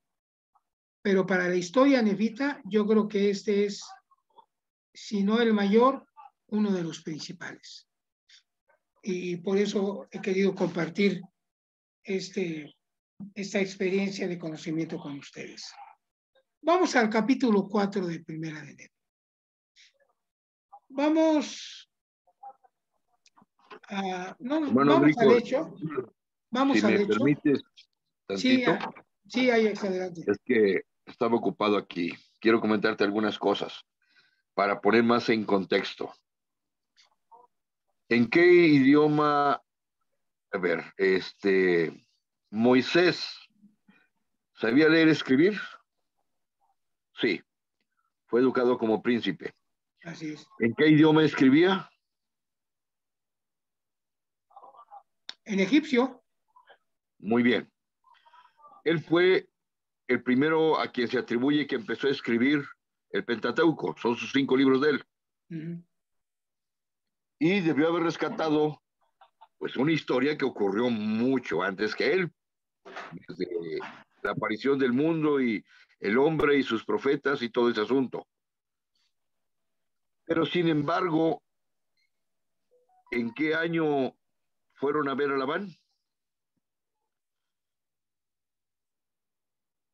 En el año 1. Cerca, de, cerca del 600, más o menos. En el año 1 del reinado de Sedequías. Ah, ok. ¿De acuerdo? Sí, según la contabilidad hebrea, sí. Ajá, ellos, eh, perdón, ¿en qué material escribió Moisés? Es muy posible que haya sido sobre planchas. Y la historia a partir de Moisés se siguió escribiendo por los reyes. Y parece ser que se escribía hasta la época de Sedequías. Y todo esto que te comento, es muy posible que las planchas de bronce estaban en egipcio y egipcio reformado porque ya había cambiado, fueran los escritos originales de Moisés. Y que continuaron agregando planchas y llevar la historia del pueblo judío hasta el mismo año en que se está retirando Leí y manda a sus hijos a recoger los anales originales del reino de Judá, que había empezado Moisés mismo. Esta es una conjetura que hice hace algún tiempo, pero creo que te pone en contexto no solamente quién era Labán, sino qué tesoros se estaban llevando de un pueblo que iba a ser destruido. Si no rescatan ese libro, hubiera sido destruido como lo fue Jerusalén. Gracias a eso se preservan las planchas de bronce. Habrá que corroborar y ver más detalles, pero no creo que esté muy lejos de qué es lo que manda, este, leía a sus hijos a traer y el celo. ¿Y por qué justificaba Labán? De aniquilarlos con la mano en la cintura. No se estaban robando cualquier cosa en las palabras de Labán. Gracias, Agrico. No, gracias, Ajax, por la aportación. Muy interesante, hermanos, muy interesante. ¿Cuánto, cuánto conocimiento hay, hay en, este, en este grupo? Eh? Yo, la verdad, eh, acepto y admiro y este, enaltezco los conocimientos de tantos hermanos que, que estudian y que son conocedores en, en, muchos aspectos del conocimiento religioso e histórico. Me, siento eh, muy, muy, muy, muy cobijado. Muy bien. Eh, vamos a, al, al, versículo eh,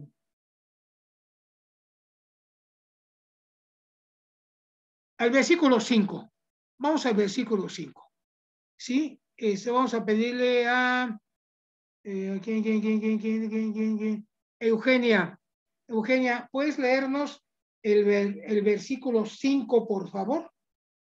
el versículo 5. Vamos a pedirle a Elia, Elia Alvarado, que nos pueda leer el versículo 6 y 7. Y a Isaac. Hermano Agricol, una disculpa, no tengo a la mano mis escrituras, estoy en el celular y sí se me complicó un poquito estar maniobrando. Le ruego me disculpe. Ok, ok. Gracias. Aarón, Aarón, ¿puedes leernos el versículo 5? por favor. Estoy en las mismas, presidente, este hermano Lozano.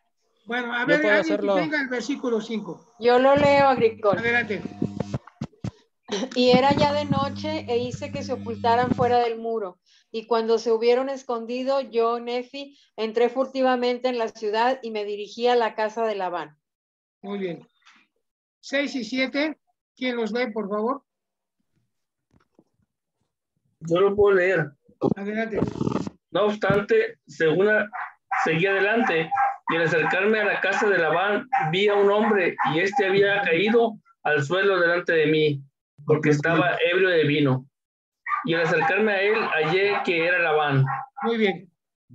Vamos a hacer un alto. Aquí vamos a analizar bien, muchachos, todo lo que comentaron nuestros amigos. Imaginémonos la escena. Era de noche, entró furtivamente eh, Nefi y en- encuentra, por supuesto, si leemos las escrituras anteriores, los versículos anteriores, el Señor se lo puso en sus manos. ¿Sí? Se encuentra a Labán. Pero se encuentra a Labán no de frente, sino se lo encuentra postrado, tirado, indefenso. Eh, en sus manos, el Señor lo pone en sus manos.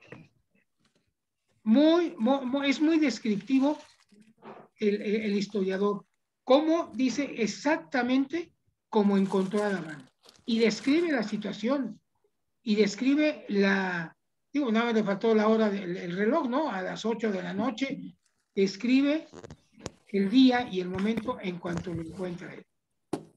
¿Y en qué circunstancias? Y aquí viene lo interesante. Viene lo interesante.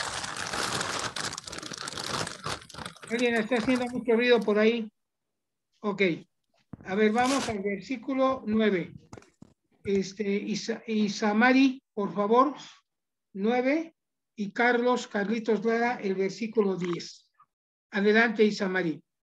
Y percibiendo su espada, la saqué de la vaina y el puño era de oro puro, labrado de una manera admirable. Y vi que la hoja era de un acero finísimo. ¿Qué tipo de espada o de objeto debió haber sido para que mereciera, muchachos, la descripción de un versículo en el compendio del libro de Mormón? Qué impresionante debe haber sido para que se utilizara el espacio de un versículo y se describiera la espada. Y aquí comenzamos a cosas ya interesantes. ¿Qué representa la espada? Presidente agrícola. Sí. No sé, me da la impresión de que bien pudo ser una espada de, un, de origen o de tipo ceremonial, usada en las reuniones que Para allá vamos. Para allá vamos. Excelente. Muy bien. Muy bien. Muchachos, las espadas son objetos de poder. Las espadas son objetos de poder. Como los intérpretes y los lentes que hay a veces en las cabezas de Quetzalcóatl, hay uno, uno- unos, unos aros redondos Sí, esos son objetos de poder. La leona es un objeto de poder. Porque además se han encontrado esferas en muchas civilizaciones y esferas en, en, en Mesoamérica. Esos son, muchachos, objetos de poder. Qué interesante. Qué interesante. ¿Cuál es la primera espada que aparece en las escrituras? cuando Elohim le dice a Jehová, ve y dile a un, ¿qué era un serafín o un arcángel? ¿Qué era? ¿Un querubín? Sí, querubín, querubín. Querubín.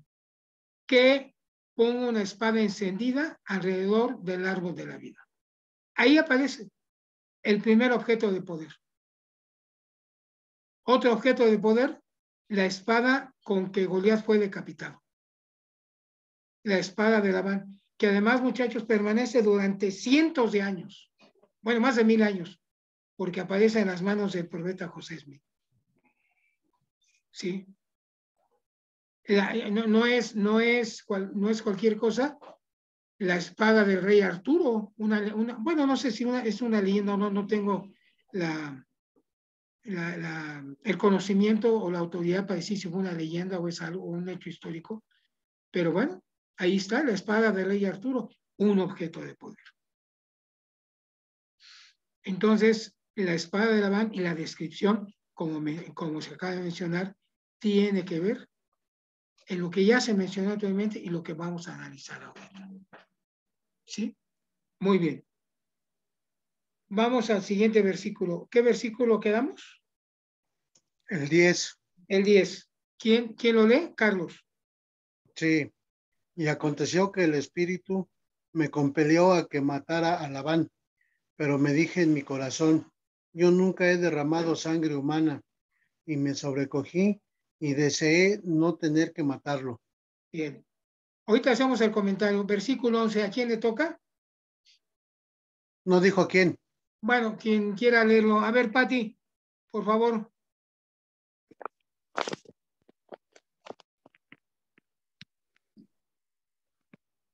Te lo leo, Agricultor, Uy, si quieres. ¿Quién sabe qué está haciendo? A ver, a ver, este, Raquel. Y el Espíritu me dijo, me dijo de nuevo, he aquí, el Señor lo ha puesto en tus manos. Sí, y yo también sabía que había intentado quitarme la vida y que él no quería escuchar los mandamientos del Señor. Y además se había apoderado de nuestros bienes. Bueno, aquí es una descripción, como se acaba de mencionar, de la personalidad de Labán. Aquí, muchachos, eh, es una, co- como el libro de Mormón es infinito.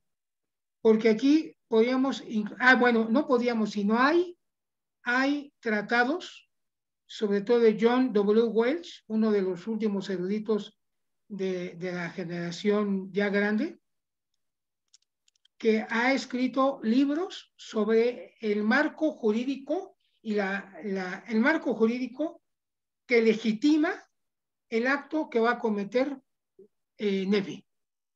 Hay estudios jurídicos que dan o que legitiman la ejecución de Labán. Y ahorita voy a decir por qué es una ejecución.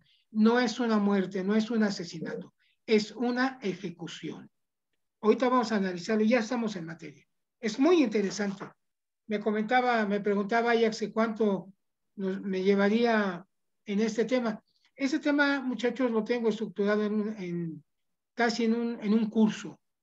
La última vez que lo di nos llevamos como cuatro o cinco sesiones de dos horas. Es increíble, increíble lo que hay. Hoy nada más vamos a darlo en dos horas. Seguimos. El versículo. Sí, ¿Qué versículo sigue, muchachos? ¿El 12? Sí, adelante. A ver, Alma, ¿ya estás lista? Alma Yanet. Sí, sí, sí, ahí voy, ahí voy. Ah, Alma Yanet o Almas, bueno, ahí va. Adelante. Y sucedió que otra vez me dijo el Espíritu, mátalo, porque el Señor lo ha puesto en tus manos. Lo ha puesto en tus manos. Aquí, apunten esta, esta referencia que tengo, muchachos, que les va a enriquecer esta, esta parte. Éxodo 21, del 13 al 14. Aquí está la, digamos, el permiso jurídico que la ley hebrea justifica la muerte de Labán. En esos versículos. Está la legislación hebrea. Es muy interesante, muy interesante. ¿Qué Hermano? Lozano, ¿puede repetir, por favor, eh, la cita? Éxodo 21. 13 al 14. 14. Gracias. Vamos al, va- vamos al versículo 14, muchachos. De, seguimos en primer Nefi 4. ¿Quién lo lee? ¿Alguien que haya leído? Alayo, Naye, ¿quién más? Martín. Bienvenido, Martín. Gracias, papá. Sale, pues, ¿quién se arranca? Versículo 14. Yo, hermano. Adelante. Y cuando yo, Nefi, hube oído estas palabras, me acordé de las que el Señor me había hablado en el desierto, diciendo, en tanto que tus descendientes guarden mis mandamientos, prosperarán en la tierra de promisión. Este versículo, muchachos, también da para otra línea de investigación. Otro tema, que es la tierra de promisión. ¿Se dan cuenta, muchachos? Yo no sé si hay alguien aquí que aún no tiene su testimonio del libro de Mormón. Está bien, no, no, no, no pasa nada que no lo tengan. Por eso estamos aquí, para encontrar las verdades del libro de Mormón. Cómo en un versículo podemos encontrar tanto conocimiento. Y ya hablamos de la tierra, ya hablamos de la libertad, y hablamos de América, y hablamos del liderazgo, y hablamos de, de profetas, y hablamos de anales. Esto es el libro es lo maravilloso del libro de Mormón. ¿Sí? Seguimos. Vamos al 17, es parte de lo que comentó, no sé si Isaías o Pedro. Vamos al versículo 17. ¿Quién lo lee, por favor? A ver, adelante. Yo lo leo, yo lo leo, Adelante. hermano. Adelante. Y, y además sabía que el Señor había puesto a Labán en mis manos para este fin, que yo obtuviese los anales de acuerdo con sus mandamientos. El 18 de una vez. Por lo que obedeciendo la voz del Espíritu y cogiendo a Labán por los cabellos, le corté la cabeza con su propia espada. ¿Se imaginan, muchachos, la escena? Fuertísima. Que- exactamente. El vestido, ¿verdad? Me yo, yo creo que era de pelo largo, dice, le cogió los cabellos, ¿verdad? Y entonces vino el tajo y lo decapitó. Yo creo que inclusive el, el cuerpo estaba en una posición para que al cortar la cabeza, el flujo de sangre no ensuciara la ropa, porque ese es otro tema, Sí. y pudiera correr la sangre y no contaminar a la ropa. Porque además ahorita vamos a ver, muchachos, qué, parte, qué, qué tipo de ropa portaba la banda. Aquí viene el primer comentario. ¿Por qué lo decapita? ¿Qué es? ¿Por qué no le enterró la, la- la- la espada en el corazón? ¿O por qué no lo asfixió? ¿O por qué no, este, no sé, le prendió fuego? ¿Por qué lo decapitó? Muchachos, la decapitación es una muerte ritual. Fue un acto ritualista, la decapitación.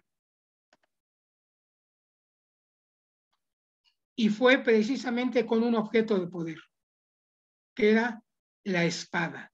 Y ahorita vamos a analizar la espada. Alguien de los muchachos que comentó dijo que la espada es parte de una vestidura sagrada y parte de reuniones de sociedades secretas. De eso venía Labán precisamente. Y ahorita aquí lo dice el libro de Mormón. Pero nada más déjenme conectar la computadora porque la batería ya se está bajando. Espérenme tantito.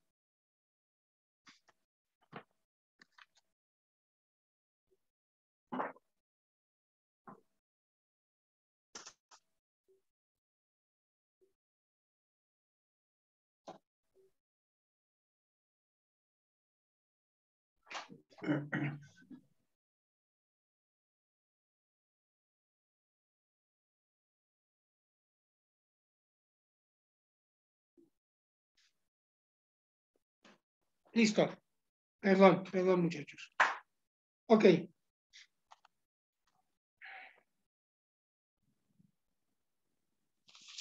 Vamos al versículo 19. Aquí ya está muy, muy interesante. A ver, Moni Moni, adelante, Moni Moni. El versículo 19. Ay, permítanme un segundito. Es que no, no veo bien con, sin lentes. Ver- Sí, me Juan Pablo, dice por el obispo, estas palabras coinciden, bueno, ya no alcancé a leer, ya no alcancé a leer, pero léalo en el, en el, está en el chat del grupo. ¿Qué cosa? Ok. Otra vez, por favor, la escritura, hermano. El versículo 19. Ujú. Es que voy entrando a la clase. A ver, primera de Nefi, capítulo 4, versículo 19. Gracias.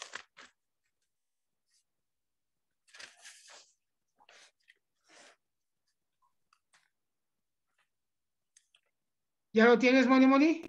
Sí, ahora sí, ya. A ver, 4, tú vas a leer, 19. espérame, tú vas a leer el 19 Sí. y voy, y voy a pedirle a, a, a Isaac, si puedes leer el versículo 20. Vamos a leerlo de corrido y después nos volvemos a detener. Adelante, Moni Moni.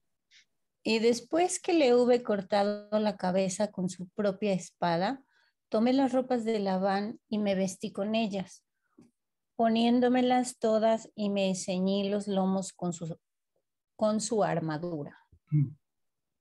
Y cuando hube hecho todo esto, me dirigí al lugar donde se hallaba el tesoro de Labán, y al acercarme a este sitio, encontré al siervo de Labán, que guardaba las llaves del tesoro, e imitando la voz de su amo, le mandé que me acompañara al lugar del tesoro. De una vez el 21, de una vez el 21. ¿Quién lo lee? Y ¿Quién él dijo? supuso, ok, y él supuso que yo era su amo Labán, pues vio la ropa y también la espada ceñida a mi cintura.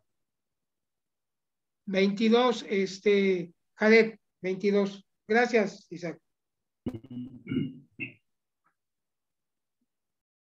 Y me habló concerniente a los ancianos de los judíos, porque sabía que su amo Labán había estado entre ellos durante la noche. Muy bien, muy bien. Qué interesante, muchachos. Qué interesante. Vamos otra vez al 19. Otra vez, Moni Moni. Y después de que le, que le hube cortado la cabeza con su propia espada, ahí. tomé... Espérame. Ahí viene, muchachos, el primer acto de autoridad de Nefi. Ejecuta a su, a su enemigo, a su contrincante. Es una ejecución, no es una muerte, no es un asesinato, es una ejecución. Es el nacimiento de un nuevo poder y la muerte de uno viejo. Y se da por un acto ritualista, que es la decapitación. Y se da por la espada del vencido, porque el vencedor se queda con la espada, un objeto de poder. Se la lleva. Es la derrota absoluta del enemigo. ¿Sí? Vamos, seguimos leyendo. Agricol, a- Adrián había levantado la mano anterior. A ver, Adriel. Sí, gracias, presidente. Eh, ahí en el, en, el, en el 19 es lo que me ha hecho a mí pensar por mucho tiempo que la espada debía tener algún significado ritualista para las reuniones específicas que, que ellos llevaban, porque dice que eh, tomé las ropas de Labán y me vestí con ellas, poniéndomelas todas, y luego agrega, y me ceñí los lomos con su armadura. Es decir, él llevaba puesta, la, él llevaba la armadura. La armadura no era algo que usaban todos los días, era para ocasiones especiales. No, pues era ya- para ya- la guerra. Ya, ya, ya da la clase, Adriel. Y, no sé si puedo compartir en las referencias, presidente, en, eh, en Samuel, primera de Samuel 17:51. A ver. Encon- Encontré una escritura que nos marca ahí mismo el libro de Mormón que dice, eh, entonces corrió David y se puso sobre el filisteo y tomando la espada de él y sacándola de su vaina, lo acabó de matar y le cortó con ella la cabeza. Y cuando los filisteos vieron su- a su paladín muerto, huyeron. Ajá, sí, así es. Lo, lo que Así usted es. nos, lo que usted nos mencionaba tiene un, un significado. Ahora voy a, voy a terminar lo que ya iniciaste. Ya lo iniciaste. ¿Podrían repetir la referencia, por favor, de Primera de Samuel? Está en Primera de Samuel 17:51. David. Es, es- este es muy, esto es muy interesante lo que menciona Adrián, muchachos. Es, es parte del conocimiento y de lo que está en las escrituras. O sea, son las tripas, las entrañas de, la- de- de las escrituras. Por eso el hermano Nibli tiene razón, muchachos. No solamente el libro mormón, cualquier escritura hay que leerla entre líneas y a la luz del Espíritu. Hay un vasto, vasto conocimiento. En el Antiguo Testamento, lo que menciona Dios, lo que ha mencionado cada uno de ustedes, eso es. Nada más que ah, pues hay que ponerse a estudiar. El- ahí está el conocimiento. Eh, la- Las verdades del Evangelio no están peleadas con el conocimiento, muchachos. Nosotros creemos, eh, hay, hay que derribar mitos. La ignorancia es un mito. es algo que hay que derribar. Eso, eso, eso que decían nuestros líderes anteriores y a lo mejor algunos se atreve a decir, eh, esto, no, esto no te sirve para tu salvación, pues no hay nada más ignorante que eso. O sea, eso, eso es de ignorantes. Por supuesto que el conocimiento nos, nos ayuda para la salvación. El hombre no puede ser salvo en la ignorancia, punto. ¿Ustedes creen que los apóstoles no estudian? Pues ahí están sus libros. Claro que no pueden compartir todo ese conocimiento porque pues, es selectivo.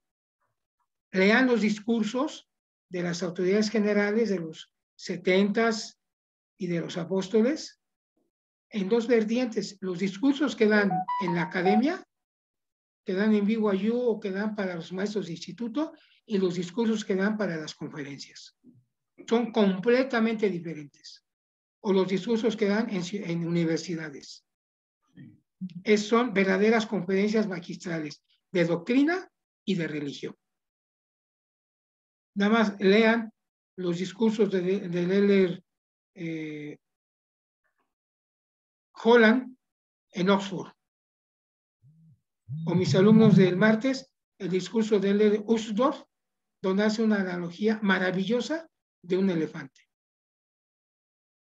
Que me, trajo a la mente una analogía que le escuché a Fernando Sabater, el, el gran filósofo español. Entonces, ahí está el conocimiento. Ahí está, nada más hay que rascarle. Hay que rascarle. Seguimos con este versículo. Obispo Isaías también tiene una levantada. Ah, Adelante, mi querido Chais. Bien, cuando, cuando el siervo de Labán hace referencia a que estuvo en la reunión con los judíos o los ancianos de los judíos y dijo, se refiere a la noche, pareciera que este acto de la decapitación de Labán no fue instantánea, sino que se llevó algún tiempo la noche y quizás la madrugada, porque a lo mejor al amanecer es cuando ya se encuentra el siervo de, de Labán. Quiero pensar que no desde donde se lo encontró, ahí lo decapitó, seguramente hizo alguna maniobra de llevarlo a algún lado, ocultarlo, que le diera tiempo a no manchar la ropa y, moverse para otro, para otro mejor momento cuando encontró al siervo de Labán y tener todo preparado con tal tranquilidad y sensatez que no lo, lo delatara quizás el nerviosismo que podría traer este, Nefi. Ese es mi comentario. Muy interesante, obispo, muy interesante. Muy interesante. Este, obispo Marichal, adelante, Juanito. Dos, dos anotaciones. Eh, una, quizás la más, la más este, ligera, es acerca del carácter de Nefi. Eh, las escrituras, bueno, el libro de Mormón pone un acento en una característica de Nefi que, que define mucho de su, de su formación anterior. Porque Nefi cuando ve la espada, Nefi cuando ve la espada de Labán, expresa admiración. Y es una admiración propia, no de un neófito, sino de un conocedor. Él dice, ah, qué bien hecha estaba, porque sabe lo que está bien hecho y sabe lo que no. Y, y esta forma de expresarse sobre un instrumento de metal es característica de Nefi a lo largo de toda su vida. Nosotros vemos que su arco era de metal, que eh, también se pronuncia en descripciones muy profundas sobre las planchas, sobre la liaona, eh, que sabe que tiene que hacer herramientas de metal para construir un barco y después replica la espada de Labán.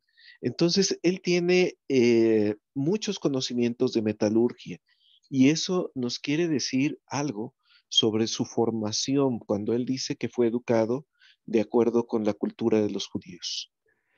Eh, eh, vaya, sus conocimientos eran vastos y eran profundos, incluyendo conocimientos de lenguaje, de simbología y de metalurgia. Y volviendo al tema de Labán, este, me siento enriquecido ahorita con esta reunión. Sí, nada más déjame, déjame tantito, adelante. obispo. Es muy interesante lo que menciona Juan Pablo, muchachos, porque hay que recordar dónde fue ¿cómo y dónde fue educado Nefi? En Egipto tenía conocimiento de los egipcios. Y los conocimientos de los egipcios son vastísimos. Entonces es muy interesante lo que menciona Juan Pablo, muchachos. Sabía eso y sabía quién sabe qué tantas cosas más. Perdón, Sí, y definitivamente la familia de Leí era una familia acomodada. Eh, tenía relaciones con Labán, tenía relaciones también con Ismael. Eh, muy probablemente los tres eran parientes. Eh, entonces, eh, ve- vemos allí una serie de mm, circunstancias sociales ¿no? en la vida de Nefi. Bueno, volviendo aquí a, a esto, decía que me siento muy enriquecido porque ahora veo el- la muerte de Labán como una transición de poder semejante, semejante a las que se narran en el libro de Primera de Samuel. En Primera de Samuel se narran tres transiciones de poder, tres pasos de una, de un, sucesiones de un personaje a otro. Y, y lo mismo pasa aquí, es una sucesión de poder y por eso era muy apropiado entonces vestir con la ropa y usar la, la- la espada de aquel a quien has derrotado. El espíritu dice, eh, y no había puesto yo atención, de que entonces el espíritu estaba citando la ley de Moisés al decir, el Señor lo ha puesto en tus manos. Quiere decir que el autor de la ley, eh, Dios, cita este precepto de la ley para indicarle a Nefi lo que tenía que hacer.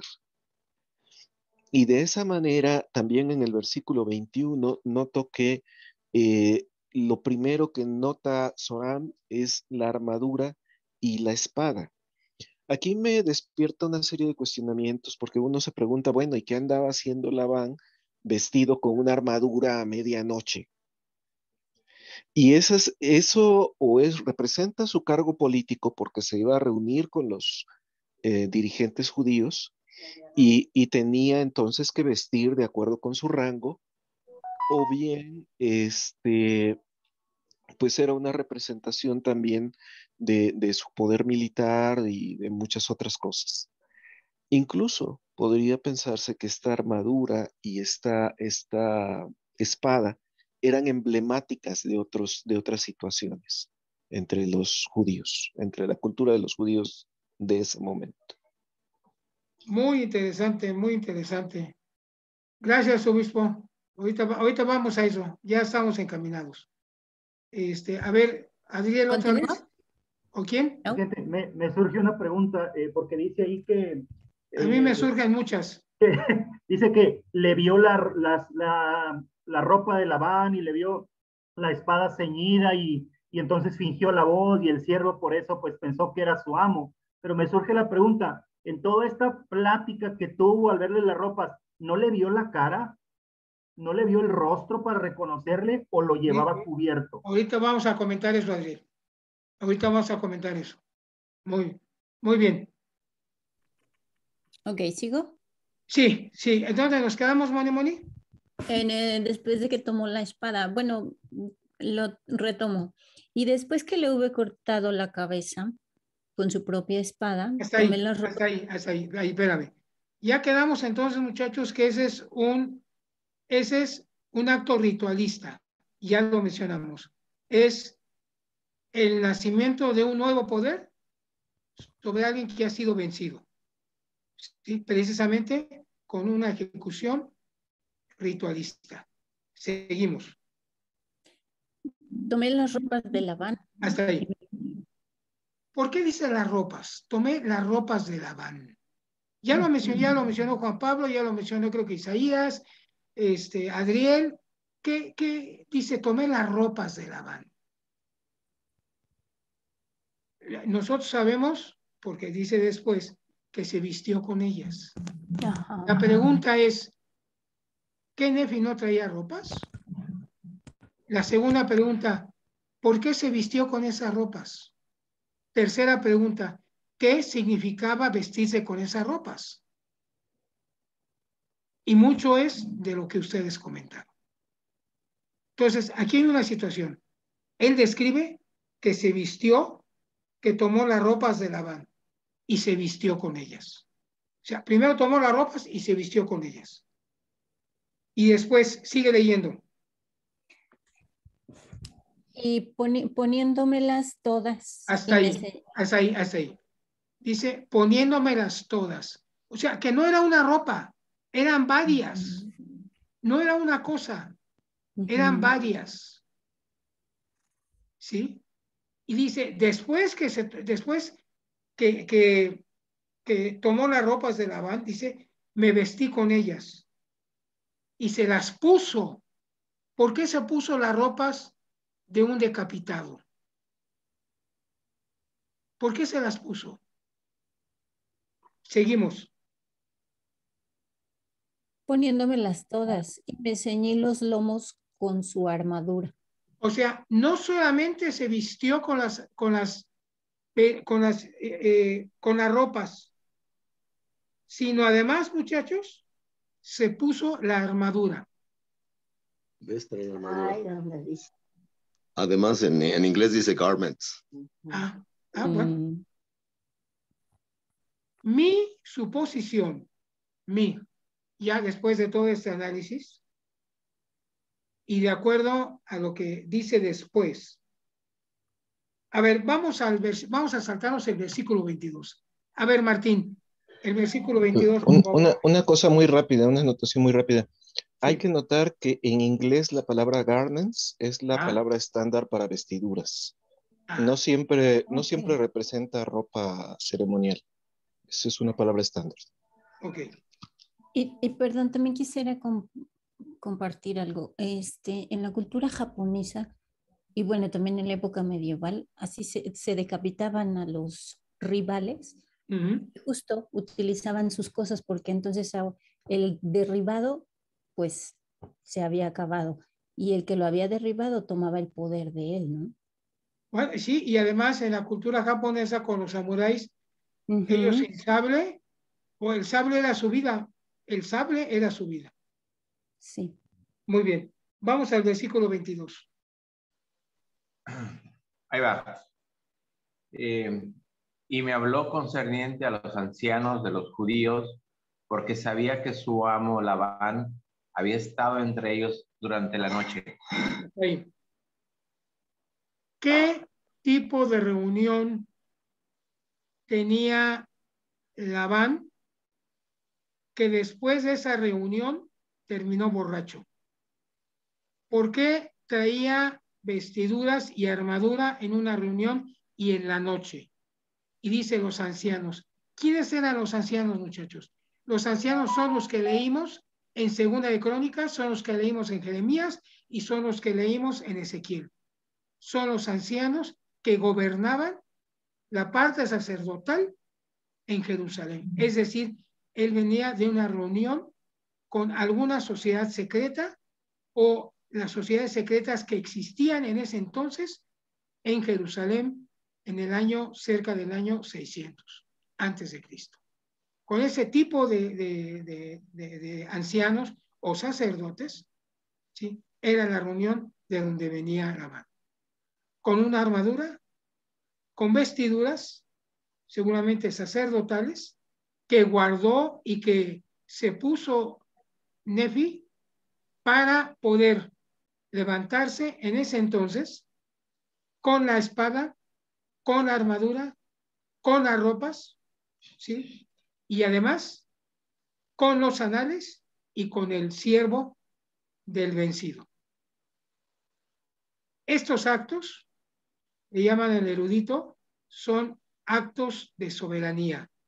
Es el nacimiento del primer orden constitucional nefita. Es el nacimiento de una nueva entidad social, política y jurídica. Por eso fue por los anales. Los anales, las planchas de bronce, le daban la ley y el marco jurídico para legitimarse como una nueva entidad social y esa entidad social era la familia. Ese es el primer núcleo, la familia. Vamos a leer el versículo 24. Adelante, por favor. ¿Quién lo lee? A ver, Marisela.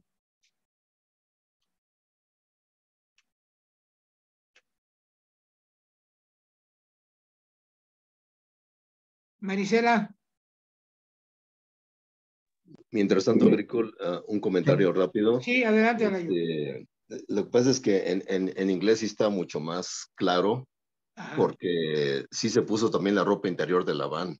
¿Ah? O sea, ciertamente garments es vestidura en general, pero, pero cuando dice que se puso cada pieza de lo que traía encima la van, ¿Eh? es, es, es, eso para mí es muy importante. Entonces okay. tengo razón, Alayo, porque yo comenté, perdón, que de Ajá. seguro la van quedó desnudo.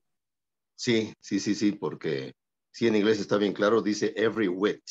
Mm. O sea, sí, es verdad. No, no, hubo parte que no trae la van puesta que no se puso Nefi. Ahí está. Every Muy wit interesante. Cada, -huh. cada parte. También dice que ciñó sus lomos, y eso se refiere a las partes genitales. Ah, ahí está. Es, esto, muchachos, les voy a comentar, bueno, se los voy a dictar si lo quieren apuntar. Es, es eh, la explicación, la simbología que da el erudito. Esto ya no es aportación mía. Esto viene en el artículo del erudito. Dice, la armadura es el poder militar. La armadura. Los vestidos es el poder religioso, que ya lo comentamos. La espada es un objeto de poder.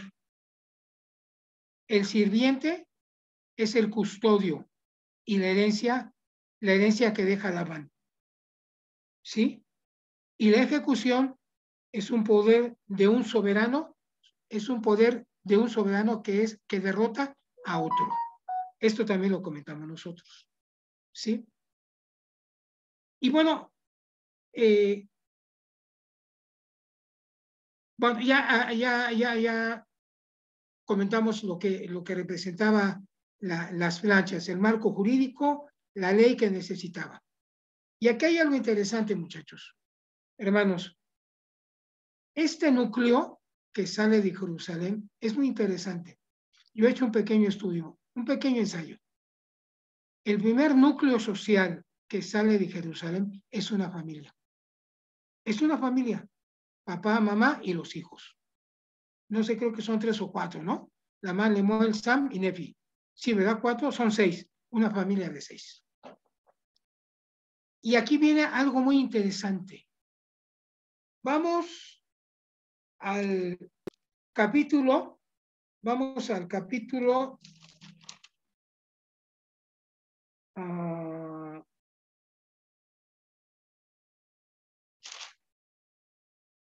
uh, vamos al capítulo 5. Vamos al capítulo 5.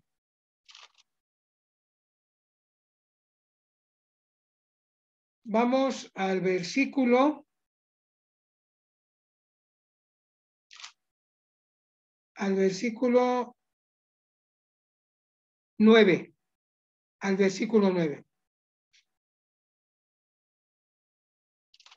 Bueno, aquí ya ellos ya tienen las, las planchas. Este, no, no, vamos a, aquí hay algo importante que yo quiero comentar antes, de, antes del capítulo 5, muchachos. Perdón. Vamos al versículo 33. Agrícola. Del capítulo 4 todavía. ¿Sí? Si me permites agregar unas cositas anteriores. Sí, ahí adelante. Las planchas las tenía en su casa. O tenía su tesoro personal. Era ilegal sacar esos registros donde correspondía. ¿Quién sabe qué planes tenía este amigo? Y su siervo, Soram, lo sabía perfectamente. Eh, no dice exactamente que venían de medianoche, sino que era noche, pero sí dice que habían estado reunidos durante el periodo de la noche. ¿Qué clase de ancianos, de sacerdotes serían si de ahí Labán sale borracho hasta quedar tirado? Muestra el nivel de corrupción y de degradación que había ocurrido porque quiero suponer que la reunión era en un área del templo.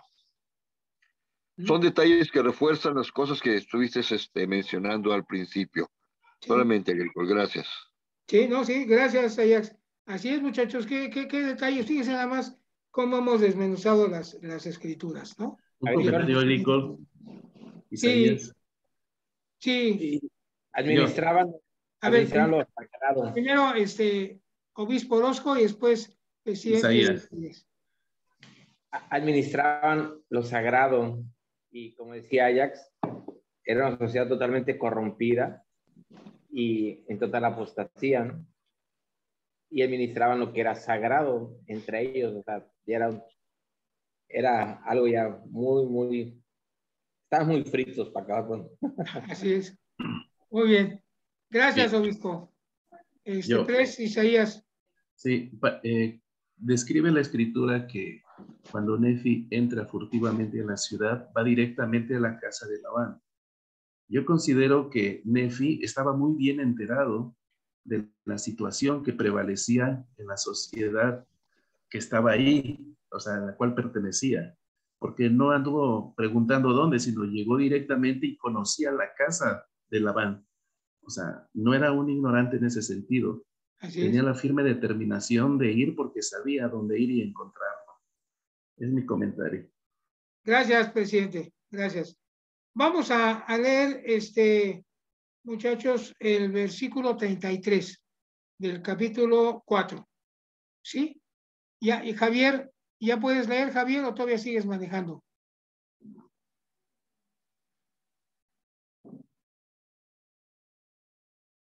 Mira que estoy ocupado.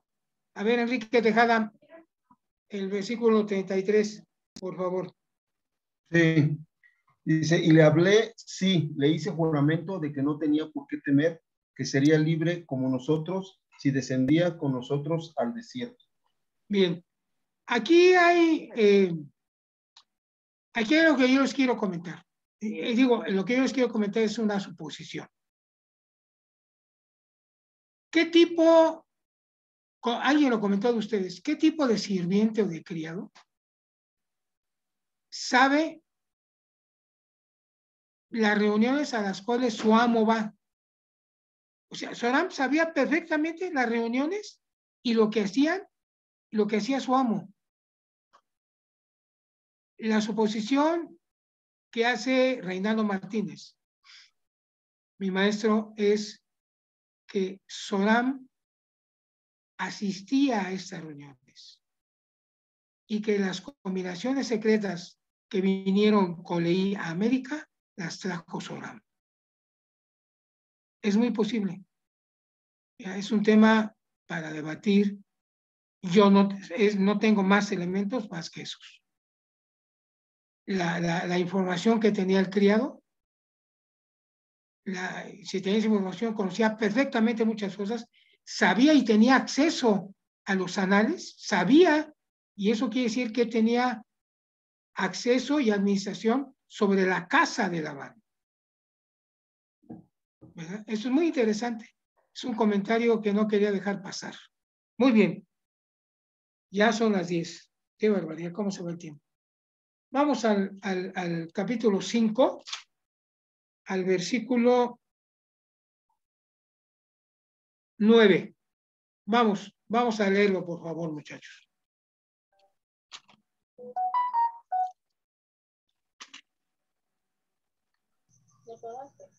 Y aconteció que se regocijaron en extremo y ofrecieron sacrificios y holocaustos al Señor y dieron gracias al Dios de Israel.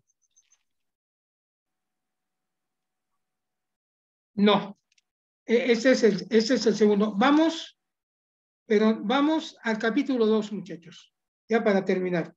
Vamos al capítulo 2, el versículo 7. Primera de Nefi, capítulo 2, versículo 7. Tú igual, este, por favor. Primera Nefi, capítulo 2, versículo 7. Esto, sucedió? esto es muy interesante.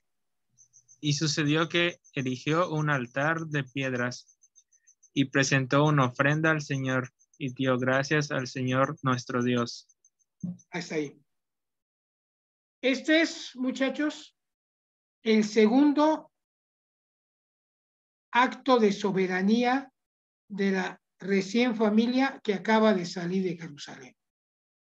Una ofrenda al Señor. El único lugar donde se hacían las ofrendas era en el templo. Pero Leí, como lo mencionaron, se había convertido en el nuevo líder de una familia que al salir de Jerusalén había roto cualquier lazo religioso, político, social y se convertía en una entidad independiente. Por eso, Leí tenía la autoridad de llevar a cabo un holocausto fuera del templo de Salomón. Y se complementa cuando regresa el hijo, ejecuta al enemigo, se trae los objetos de poder, se trae la armadura, se trae su entidad política, su entidad religiosa y se trae la ley con que, que edifican los anales. Cuando ellos salen, se complementa ya, muchachos, la entidad de un nuevo grupo con personalidad jurídica, con autoridad, con poder y listos para convertirse en lo que llega. Esta es la interpretación. Una pregunta. Sí, Ajax. ¿No tenía sacerdocio levita por no ser de esa tribu? Obviamente no solo es un nuevo, una nueva familia, está iniciando una dispensación. Y aunque no han muerto todavía en Jerusalén, por decir, ya está puesto el hacha en la base, ¿no?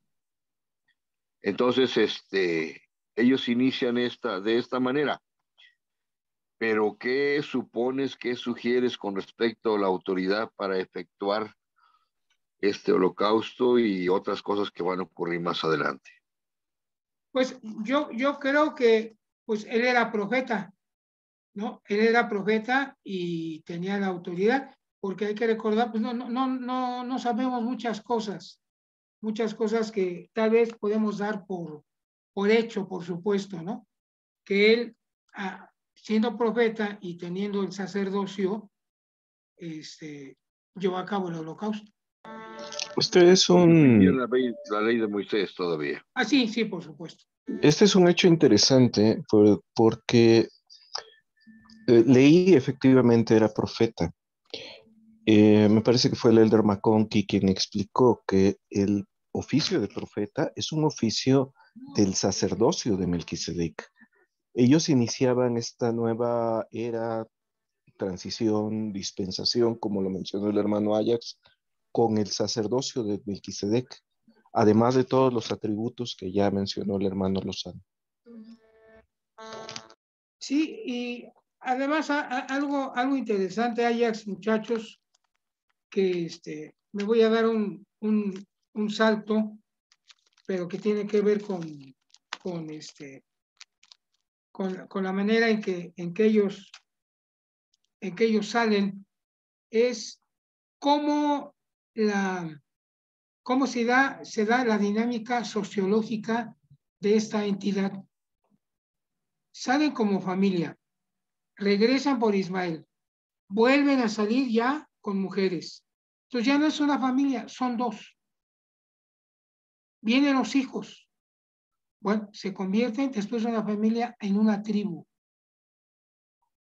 Y después de, de una tribu, familia tribu, en un pueblo. Pero mi aportación a esto es que hay falta una categoría sociológica, que es el clan. Y yo creo que antes, después de ser, fueron familia, fueron tribu, fueron clan y después fueron pueblo. Y ya en América, ya en América, entonces fueron una nación y terminaron siendo un estado. Eso es, muy interesante para, para terminar otro día la plática, porque nos faltaron muchísimas cosas. Voy, voy a poner un enlace en el chat. Nada más el, 10%, muchachos, el 10%. Sí, obispo. Voy a poner un enlace en el chat. Este, hay una situación interesante relacionada con esto de clan y tribu. Eh, cuando leí da sus bendiciones patriarcales en el que es segundo capítulo de segunda de Nefi, eh, él las da en grupos de siete. Establece allí una división de siete eh, tribus que después se mencionan en un orden idéntico a través del libro de Mormón. Este, no me voy a extender en esto, voy a poner simplemente el enlace en el chat para que lo puedan este, revisar. Muy bien, porque además, además muchachos, digo, eso de clanes no, no es que se me, se me haya ocurrido, ¿eh? eh perdón, el, nombre sería las siete tribus del libro de Mormón, ah, porque se, se, se, compuso de siete tribus. Esto eh, da la idea de que sí, originalmente fueron una especie de clan. Eh, sí, no estoy tan, no estoy tan perdido, muchachos. Porque además, el, la Biblia de Jerusalén, muchachos, utiliza la, la palabra clan. Léanlo, chequenlo en la Biblia de Jerusalén. Yo la, yo la utilizo a veces para estudiar. Habla de clanes. ¿Verdad? Y este, e, esa es mi, mi, mi, aportación para esta, para esta noche, ¿no? Que hay, hay una categoría social ahí que, que hay un huequito que hay que llenar. Que familia, pueblo, no familia, tribu, clan, pueblo, nación y Estado. En, en, ese, en ese orden este, de desarrollo este, sociológico con tintes políticos. Y es muy interesante, ¿no? Bueno, pues muchas gracias, muchachos, ya son las 10, 15. Yo creo que este, pues estamos 43, se fueron 7, yo creo que esto, si gustan, ponemos una fecha después para analizar también el rompimiento, no solamente es, hay un rompimiento este, religioso, político y social con esta nueva entidad. Y que tiene que ver, ya no lo voy a decir, con el pacto o convenio de Abraham, el pacto abrámico. Esto tiene que ver, todo esto, con el pacto de Abraham. Muy bien, muchas gracias. Este, pues yo no sé si hay alguna pregunta. Aquí hay muchos que podamos contestar. Muchas gracias a los que se, se este, ya subió el obispo Marichal el enlace. Muchas gracias y pues buenas noches. Gracias. Adelante, maestra.